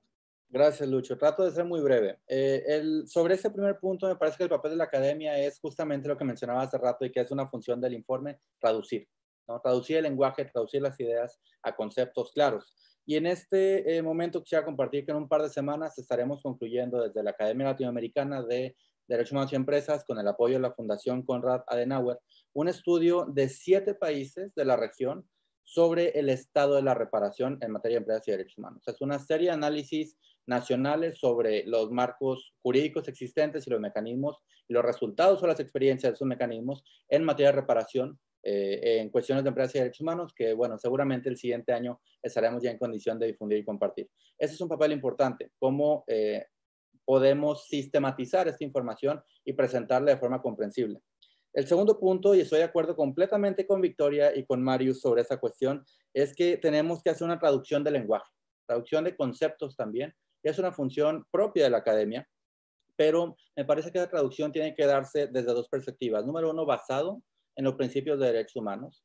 Si queremos ver la idea de John Ruggie de ese pragmatismo basado en principios, bueno, esa es la forma de ponerlo en práctica, pero también con condiciones de diálogo, más que de eh, rechazo tal vez a cierto tipo de ideas que puedan ser de entrada contrarias a la lógica empresarial tradicional, ¿no? Pero bueno, eso es algo que es un trabajo de la academia y que creo que nosotros seguramente estaremos reflexionando más adelante sobre cómo adelantar. Y el último punto, ya muy breve, es sobre esto que mencionaba yo sobre normas claras y qué tipo de normas? Esa es una pregunta que tenemos que hacernos con mucha seriedad en América Latina. No podemos, me parece, estar pensando en copiar las líneas de Europa si no tenemos el mismo sistema normativo, político, social que Europa. Tenemos que aterrizar la lógica de cuáles son esas normas que se van a imponer a las empresas desde la realidad latinoamericana. Y ese ejercicio también es una función que tiene que hacer la academia, pero que tiene que haber una receptividad y una escucha activa de las diferentes partes involucradas, sector privado, sector público y sector social, evidentemente. Con eso termino y muchas gracias también por la invitación. Muchas gracias, Humberto. Con, con esas palabras eh, eh, doy paso a Victoria Márquez. Por favor, Victoria, tus reflexiones finales y quizás cómo desde tu experiencia en los mecanismos independientes, pues los órganos eh, ejecutivos de los bancos internacionales y, y, órganos multilaterales de crédito pueden hacer, digamos, mayor, pueden escuchar de manera más enfática lo que dichos eh, mecanismos independientes pueden, pueden decir. Muchas gracias. Sí, al final que queríamos que eh, las recomendaciones fueran más robustas.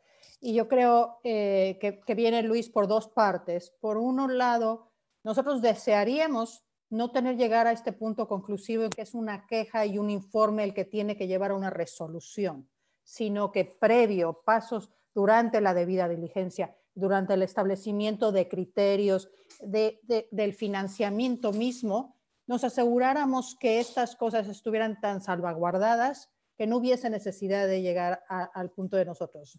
Esa es la primera. Entonces, de una forma u otra, servimos como ese mecanismo de, de terror, si lo queremos plantear ahí, que para evitarnos hagamos bien el trabajo antes, por una parte, por la otra es porque es financieramente eh, viable una operación, una transacción, un proyecto, si lo haces bien y si obtienes la licencia social de las personas y si lo cuidas a tu comunidad. Eso es toda una serie de elementos que generan la sustentabilidad de tu transacción, de tu operación, del proyecto y del respeto del que habla Amanda en el sentido total hacia nuestro medio ambiente y las personas que lo rodean. Ahora, en el tema de, la robustez de los informes, las recomendaciones, creo que eh, enfrentamos los mismos desafíos que la Comisión y la Corte.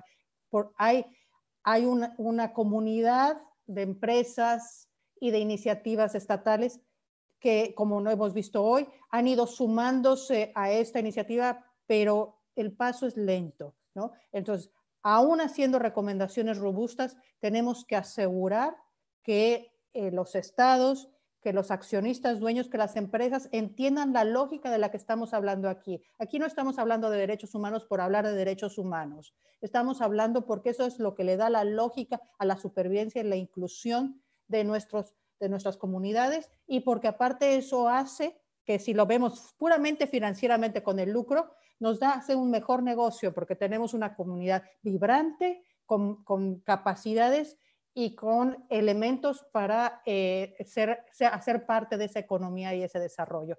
Entonces, en ese sentido, creo que tenemos que trabajar en diferentes aristas y a lo que yo invito siempre es trabajemos juntos. Aquí tenemos todo un grupo de muy diferentes ámbitos que sin estar trabajando juntos no vamos a lograrlo nunca.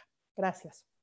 Muchísimas gracias, Victoria. Con, con esas palabras también me gustaría dar paso a Marius Calvet, por favor, Marius, eh, tus reflexiones finales y también tal vez eh, comentarnos un poco tus pensamientos eh, sobre la importancia de que dentro de las empresas también existan altos cargos, que, que, mujeres desempeñen altos cargos dentro de las empresas. Creo que es una de las cosas que también se habla dentro del ámbito de empresas y derechos humanos, no tanto relacionado a los estados, pero en, el entendido de la, eh, de la, perspectiva de género y la interdependencia de los derechos, sería importante conocer tu, tu perspectiva sobre, que, sobre la labor interna de las empresas para facilitar eso. Muchas gracias.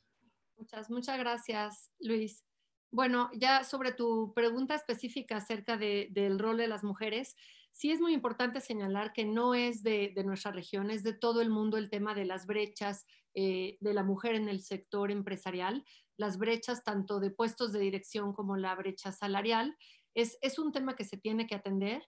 Yo puedo platicarles de empresas cuya plantilla laboral es 50% mujeres y 50% hombres y esto se presume públicamente, pero ah, tomando la fotografía muy de cerca, el porcentaje de mujeres en puestos de dirección a lo mejor es de 10% y están todo ese 50% de mujeres en, la base de, la pirámide corporativa. Entonces, el tema tiene que, que venir y entenderse de, en toda la empresa de institucionalizarse en políticas, pero realmente, como yo decía, eso no va a hacer que esto suceda, no va a ser eh, únicamente el tema de, poner cuotas, lo que va a funcionar, lo que funciona en las empresas para este tipo de, cosas es vivirlo, vivirlo día a día hacer mecanismos internos que permitan ya sea que tenga que haber a la hora que hay un puesto de dirección, tenga que haber una terna y una de esas tres personas candidatos a la dirección sea una mujer.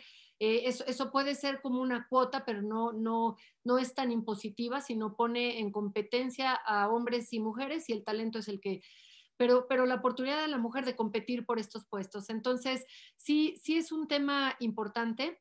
Eh, en muchas empresas tiene que haber comités de alto nivel en donde esté sentada la alta dirección, el director general, en donde se traten todos estos temas, hablando en general de derechos humanos, hablando del tema de, diversidad, de inclusión, eh, de salud y seguridad de los colaboradores. Estos comités pueden tener el nombre que tengan, pero si están con un compromiso de la alta dirección y se baja el trabajo con grupos de trabajo, yo creo que sí es, es muy importante el tema de institucionalizarlo. No es responsabilidad de una persona encargada de derechos humanos o de sustentabilidad en mi caso, o de responsabilidad social, como le quieran llamar. No es responsabilidad de un área el tema de, de la vigilancia a los derechos humanos y el tema de la diversidad dentro de una empresa. Es responsabilidad de cada una de las personas en su actuar diario y en la cultura de diario de la empresa. Entonces, entendiendo todo esto, pues hay que poner las estructuras para que esto se maneje desde arriba y entonces vivirlo y, empezar a ver los cambios y la reducción de estas brechas de una manera real, ¿no? Muchas gracias por invitarme. Muchísimas gracias, Marius.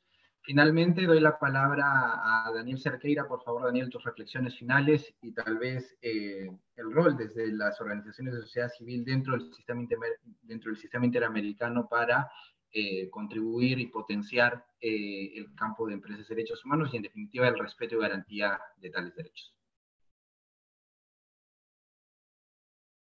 Disculpa, Daniel, tu audio está... Ahora sí. Listo. Eh, recogiendo un poco también las presentaciones anteriores, eh, hago una pequeña alegoría. Lo que mi amigo Humberto Cantú hizo una referencia, me parece muy interesante, a la discusión con Nicolás sobre eh, de qué manera el marco internacional puede ser como mínimo un referente de exigibilidad a las empresas, sin que bien la postura de Humberto. ¿no? Pero la propia forma hermenéutica que, que Humberto propone exige un trabajo claramente eh, digamos, de experticia de aplicar el artículo 32 de la Convención Americana sobre Derechos Humanos al menos a, la, digamos, a una forma de exigencia de conducta de las empresas. Yo creo que en un mundo ideal, eh, informes como eh, ese de la Redesca eh, deberían ser un referente para empresas, para la banca multilateral, pero en un mundo real, el Banco Interamericano de Desarrollo, por ejemplo, financia parte del proyecto Hidroituango, en donde claramente había una claridad de que era un proyecto social y ambientalmente insostenible. O el Banco Mundial eh, condiciona un proyecto de cooperación con Honduras a, eh, en el marco de Red Plus, de crédito de carbono, y la Unión Europea en materia, por ejemplo, de tal ilegal de madera, llamada ABAFLET, a la adopción de una ley de consulta previa totalmente opuesta a la posición de las confederaciones indígenas.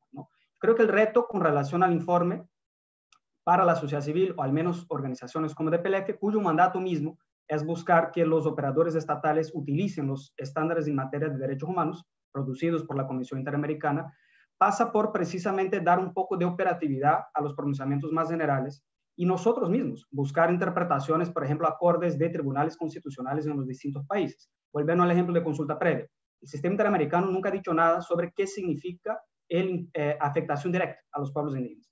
El artículo sexto del convenio 169 dice que los pueblos indígenas y tribales tienen derecho a ser consultados ante cualquier decisión estatal susceptible de afectarles directamente.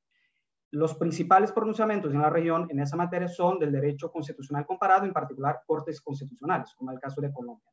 Eso, digamos, utilizado de una manera complementaria a pronunciamientos más generales en la materia, nos permite precisamente en una situación concreta eh, ofrecer a la sociedad civil, a organizaciones indígenas, eh, una objeción técnico-jurídica frente a decisiones estatales basadas precisamente en que, bueno, si no hay una afectación ambiental a tu territorio, yo no tengo que consultarles previamente. ¿no? Entonces, parte del reto para DPLF y otras organizaciones que buscan precisamente implementar pronunciamientos de la decisión, en el marco sobre todo de monitoreo, nosotros no litigamos ante el sistema, está extraer del informe sobre empresas y derechos humanos eh, una serie de sustancia también eh, y traerla a colación en discusiones eh, en marco de capacitación que hacemos y también eh, producción intelectual, ¿no? nuestros propios informes, amicus curia, y facilitar el acceso también de organizaciones de la sociedad civil nacionales eh, y eh, sobre todo de base a acceder al contenido de ese informe para su uso cotidiano. Y para eso, Luis y Soledad, ustedes saben que cuentan siempre con el apoyo de DPLF. Para nosotros es fundamental que ese informe sea precisamente digerido y utilizado de manera cotidiana por estados y organizaciones de la sociedad civil. Muchísimas gracias, Daniel. Con esto concluimos la segunda mesa eh, y en realidad todo el panel del día de hoy. Eh, quiero agradecer la paciencia y tolerancia de tan distinguidos panelistas y distinguidas panelistas. Eh, también quiero agradecer a todo el público que nos ha acompañado desde hace ya más de dos horas y que todavía se mantiene a través de la plataforma Zoom y también escuchándonos a través de Facebook. Eh, muchas gracias por su paciencia y por estar presentes en este diálogo de importancia sustantiva para la Relatoría eh, Especial. También agradezco a las colegas de la Secretaría Ejecutiva de la Comisión Interamericana que nos están apoyando constantemente en la preparación y, este, digamos, las consultas que se vinieron haciendo para eh, este evento. Eh, por supuesto también a los y las colegas de la Relatoría Especial de Derechos Económicos, Sociales, Culturales y Ambientales, quienes en este momento también nos acompañan. Para finalizar, voy a dar la palabra de cierre a la relatora especial, eh, Soledad García Muñoz. Por favor, Soledad. Muchísimas gracias, Luis. Felicitaciones por tu moderación, eh, que también es, es, una, es una tarea muy exigente aunque ciertamente muy grata, imagino, porque hemos tenido un panel de verdadero lujo, un, panel realmente multiactoral y un panel bastante paritario, lo cual para la Redesca siempre es muy importante. Eh, yo quisiera agradecer muchísimo a la audiencia, a la que se mantiene todavía eh, escuchando las intervenciones de nuestras, nuestros panelistas. Quisiera, por supuesto, también agradecer al equipo, especialmente al de la Secretaría y al de, al de la Redesca, eh, Amanda, eh, Victoria, Marius, Humberto, Jan, la verdad que Daniel, que ya no lo veía, eh, la verdad que ha sido un placer tenerles en, en, en, este evento tan importante para el mandato. no he podido evitar emocionarme muchas veces a lo largo del panel con lo que ustedes han dicho, con lo que ustedes han reflexionado y sobre todo con las puertas que siento que se abren a partir de este informe, que ciertamente es de naturaleza general, y es que hacía falta tener uno, un abordaje de estas características, de esta dimensión, para después adentrarnos en los grandes desafíos y también oportunidades, como esta temática despierta para nuestra región, efectivamente, como muy bien señalaba Jan, la más desigual del planeta, con unos desafíos inmensos en derechos humanos como para las economías, como para el desarrollo sostenible en, en los tiempos del COVID-19. Y creo que también en ese sentido ese informe no puede ser más, más oportuno y más necesario, leído a la luz de, de, de, de la nueva realidad que tenemos delante nuestro. Por eso quiero aprovechar muy especialmente el tenerles acá eh, como saber que en la audiencia hay muchísimas personas e instituciones que vienen contribuyendo y apoyando a la Redesca en estos tres años de, de, mandato, iniciando un segundo mandato, a que sigamos, como muy bien lo dijo Victoria, y lo dijimos en un comunicado de prensa entre la OIT, la OCDE, eh, la Oficina de la Alta Comisionada, el Grupo de Trabajo, Global Compact, UNICEF y la Redesca.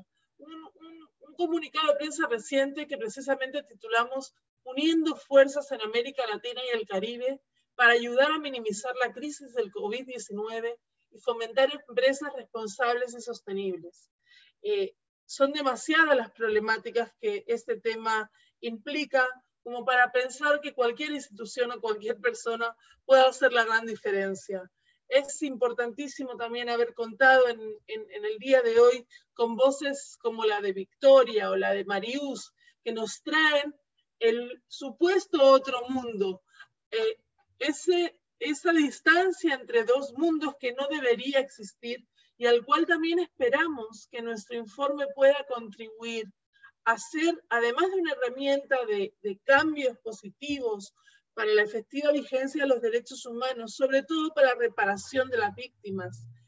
También una herramienta de diálogo. Y en ese sentido, pues quiero comprometerles a todos y a todas que ya vienen dándonos muchísimo apoyo a seguir haciéndolo, a seguir profundizando en estos, en estos debates, también con la academia, eh, Humberto, eh, con esa asociación de scholars on, on, business and human rights que tan, tan, tan importante ha sido y está siendo para la labor del mandato, como tu propia Universidad de Monterrey, ni que decir a la sociedad civil, el verdadero motor del sistema interamericano, Amanda, Daniel, eh, muchísimas gracias.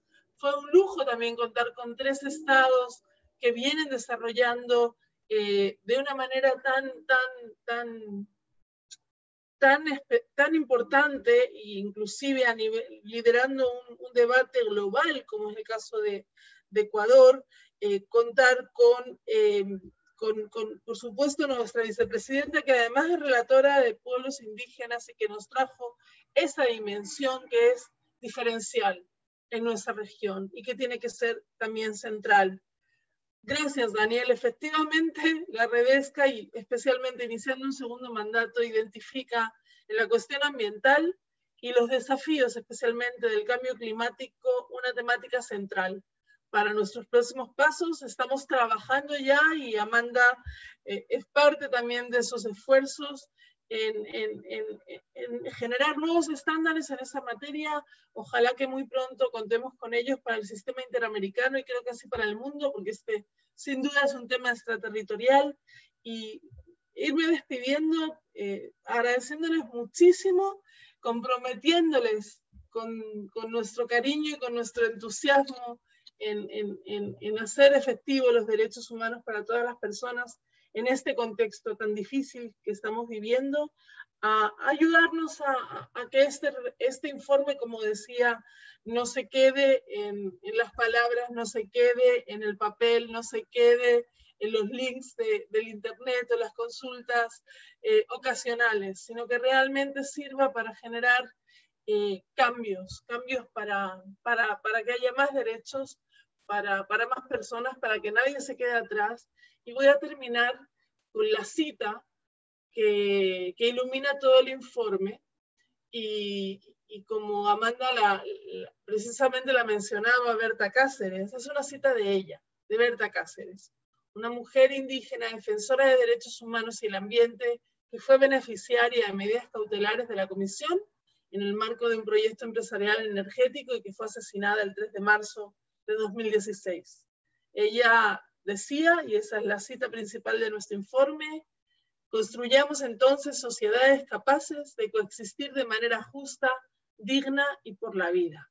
Creo que eso nos une o debería unir a todos y a todas, al sector público, privado, a los estados, a la academia, al mundo de los derechos humanos y vamos a seguir empeñándonos en esa dirección. Muchísimas gracias buenas noches, especialmente a Londres, que, es la, que tiene más, más horas de, adelanto y de verdad, seguimos trabajando. Un gran abrazo a todos y a todas y se cuidan mucho, por favor. Gracias, Sol. Adiós. Luego, gracias. Adiós, gracias. Buenas noches para todos y todas.